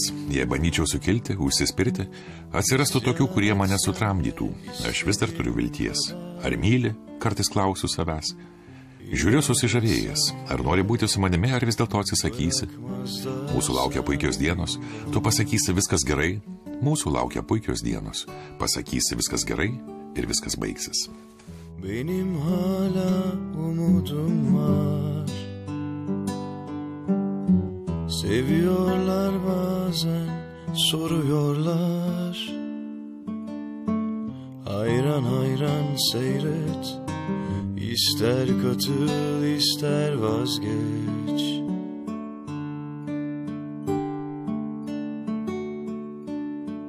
Güzel günler bizi bekler. Eyvallah dersin biter. Güzel günler bizi bekler. Eyvallah dersin geçer gider. Boyun büküp önünde ağlasam sessizce Şu garip gönlüm affolur mu? Bu fırtına durulur mu? Benden adam olur mu? Korkarım aşka zararım dokunur mu?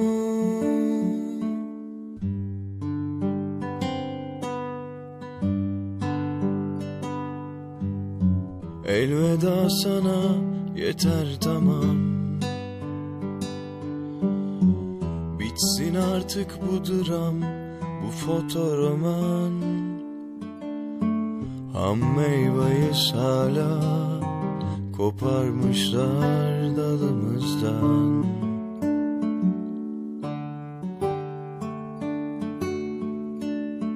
Güzel günler bizi bekler. Eyvallah dersin geçer gider Güzel günler bizi bekler. Eyvallah dersin olur biter. Bıraksam kendimi şöyle oh ne rahat. Bu da geçer gülüm yaşamana bak Alınacak dersler var Sorulacak sorular. Bu da geçer gülüm bizden bu kadar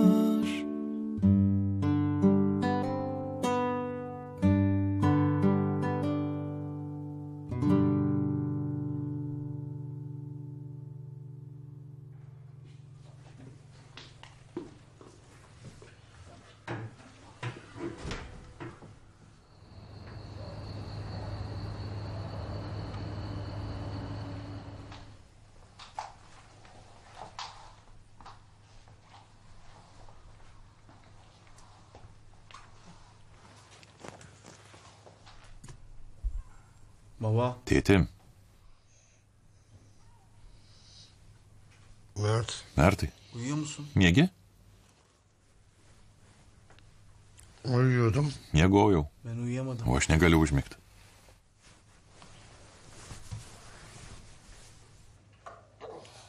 Ne oldu? Kas atsitiko?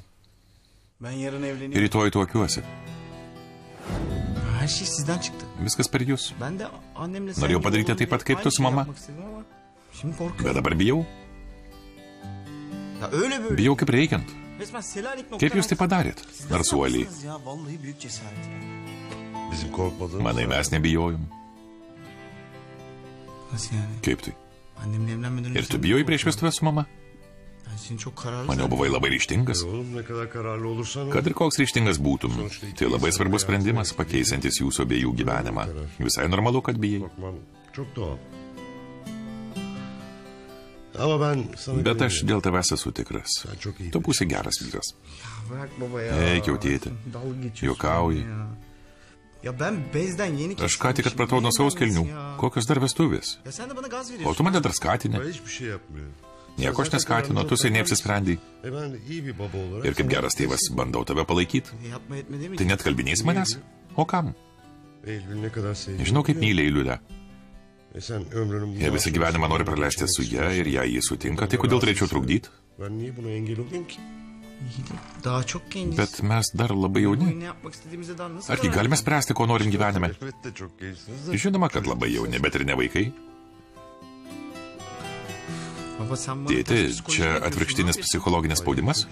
Ne, kalbu labai rimtai.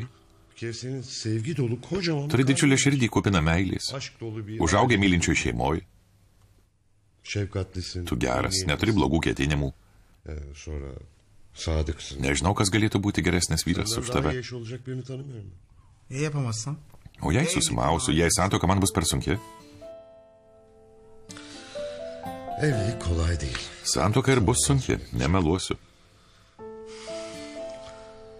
Eğer şimdi olduğundan daha... Jei vedi dėl to, kad būtum laimingesnis nei dabar, tai klysti. Evlilik Santoka her gün daha fazla... kasdienis sunkus darbas. Kasdien teks aukotis. Jei pasiseks, tau bus atsakyta tuo pačiu. Nėra nieko gražiau, kai du mylinti žmonės susikibę už rankų eina per gyvenimą. Nesigailėjai, kad taip anksti için... Nė dienos nesigailėjau, kad vedžiau tavo mamą. Ypač po to, kai gimei tu. Niekada.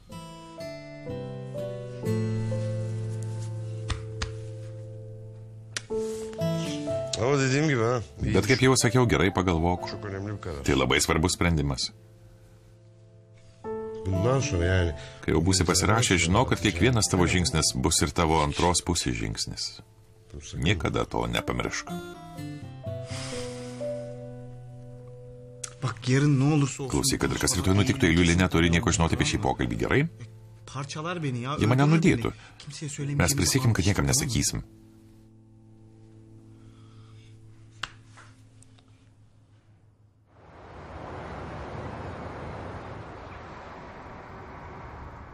Tikiuosi, kad meilė, kurią suradote, būdami tokie jauni, lydės jūs visą gyvenimą.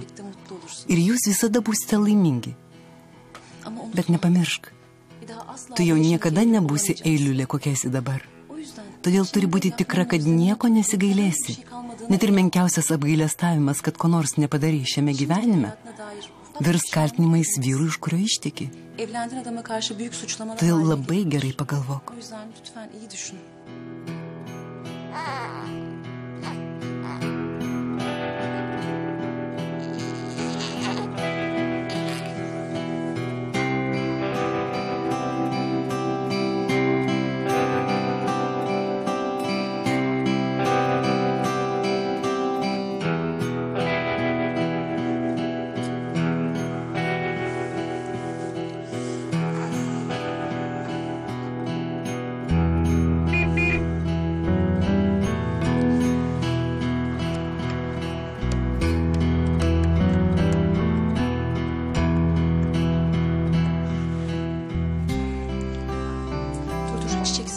Tau reikia gėlių.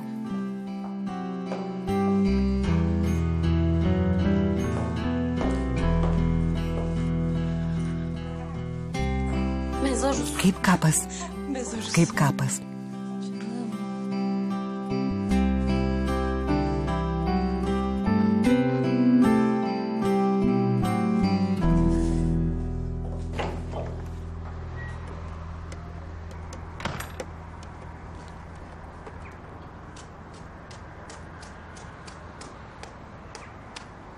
Çok güzelsin. Mylimoji, tu labai graži.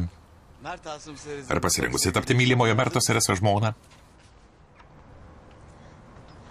Hazırım. Pasirengusi.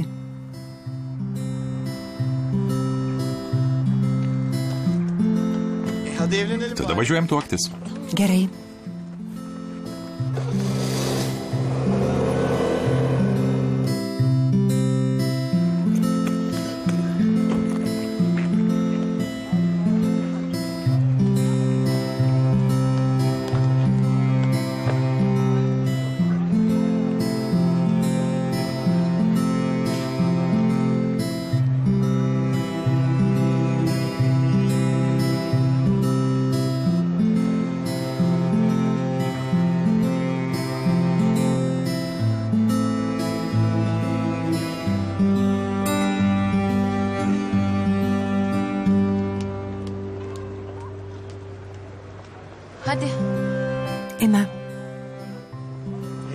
Erken geldik. Per tuos nervus per anksti atvažiavom. Lyg žinotume, ką darom. Dėl to ir nervinamės.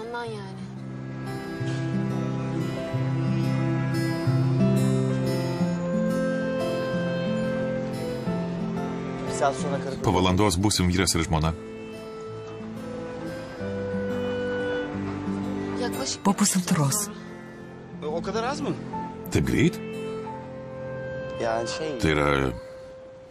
Liko visai nedaug laiko. Çok az kaldı. O açıdan dedim. Evet. Taip.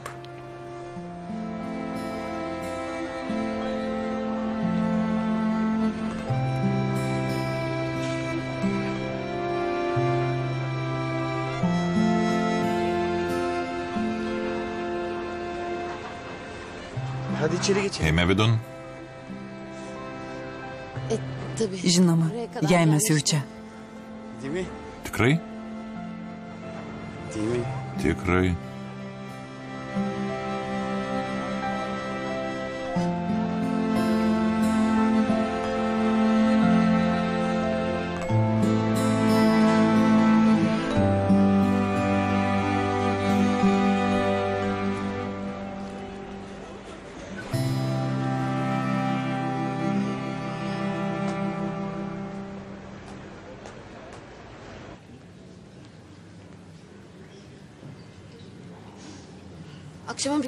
Mısın? švesim?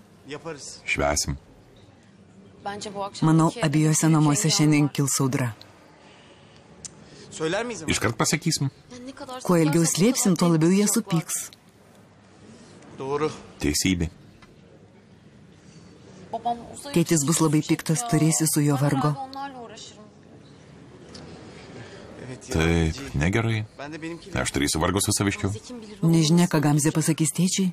Bus sugadinta laimingiausia mūsų diena. Prisiminsim ją tokią. Bet jei pagalvoji, tai jie teisūs. Mes greuname jų svajones. Irgi tiesa. Gal nori? Bet tai mūsų gyvenimas, ar ne? Žinoma. Žinoma, žinoma, žinoma.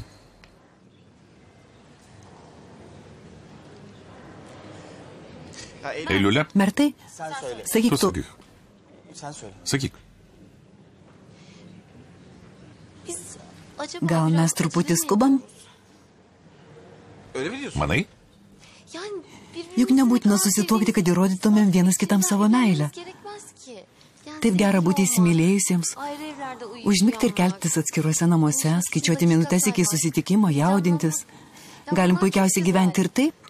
Yani bir ilişkinin her aşamasını dolu dolu yaşamak varken... E, niye uzun Kam gerinti šuolio rekordą, ar ne? Taip. Evet. Taip. Ya ben hep babamlara örnek veriyorum Visada imu pavyzdį iš tėvų. Bet mes juos nepanašus. Bet to mama su tėčiu pasiliko šį kelią, nes senelis bandė jiems sutrukdyti. bize engel olan yok ki. O mums niekas netrukdo. Priešingai palaiko. Bet to visi turi pamatyti mūsų laimingąją dieną. Visi labai apsidžiaugs, kai parinksime tinkamą laiką. Ir mums nereikės slėptis kaip prasikaltusiems. Ir draugai susirinks. Tu teisai, brangioji. Niekas nesutrukdys tave kada nors vesti plaštakę. Žinoma, beždžioniuk, mes tikrai susituoksim. Tiesiog turime bilietą be datos. Įrašysim vėlesnę datą.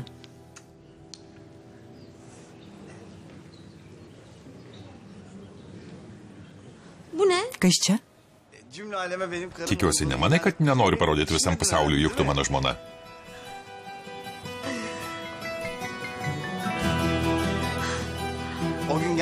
Kai išaušta diena, šie žiedai atsidurs ant mūsų pirštų. Visam gyvenimui. Ar tekėsi už manęs, kai būsime tam pasirengę plaštakę? Taip, Pažadė. pažadu.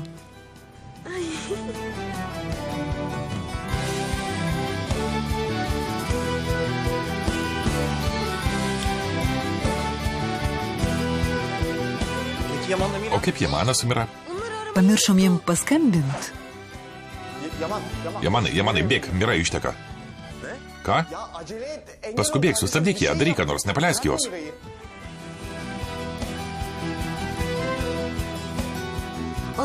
Po nakties salo jis pašylo ir nuėjo pas Elifą. Netikiu. Jis sakė Mertui.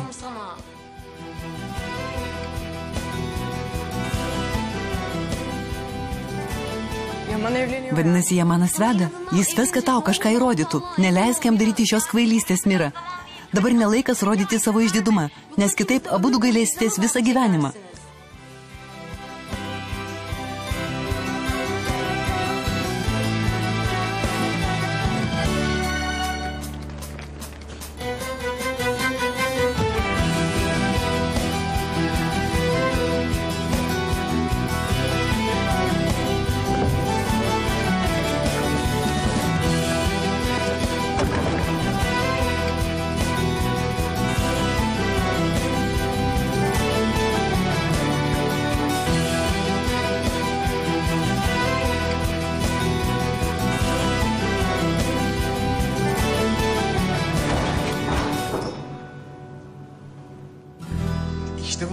Štai jis atėjo.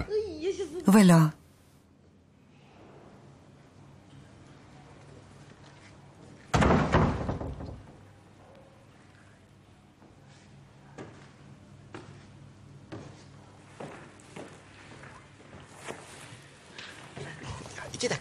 Galite truputį palaukti. Kitas liudininkas tuoj atvyks.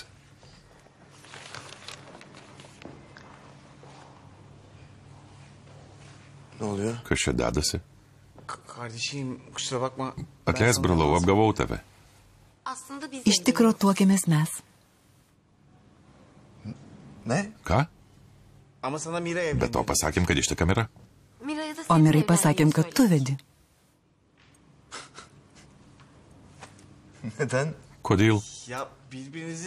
Neradom kito būdo įrodyti, kad jūs vienas kitą mylit.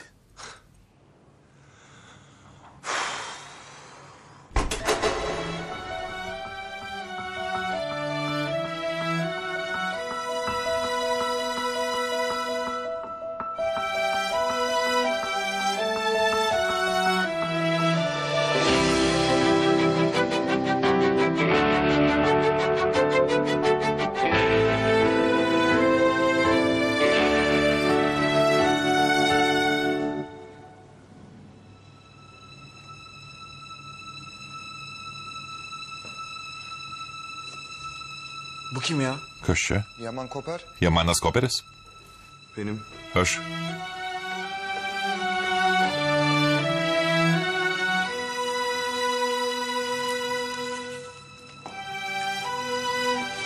Şuraya imzalar mısınız?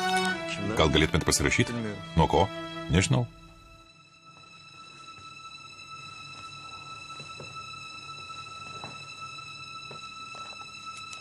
Tebrikler. Sveikinu.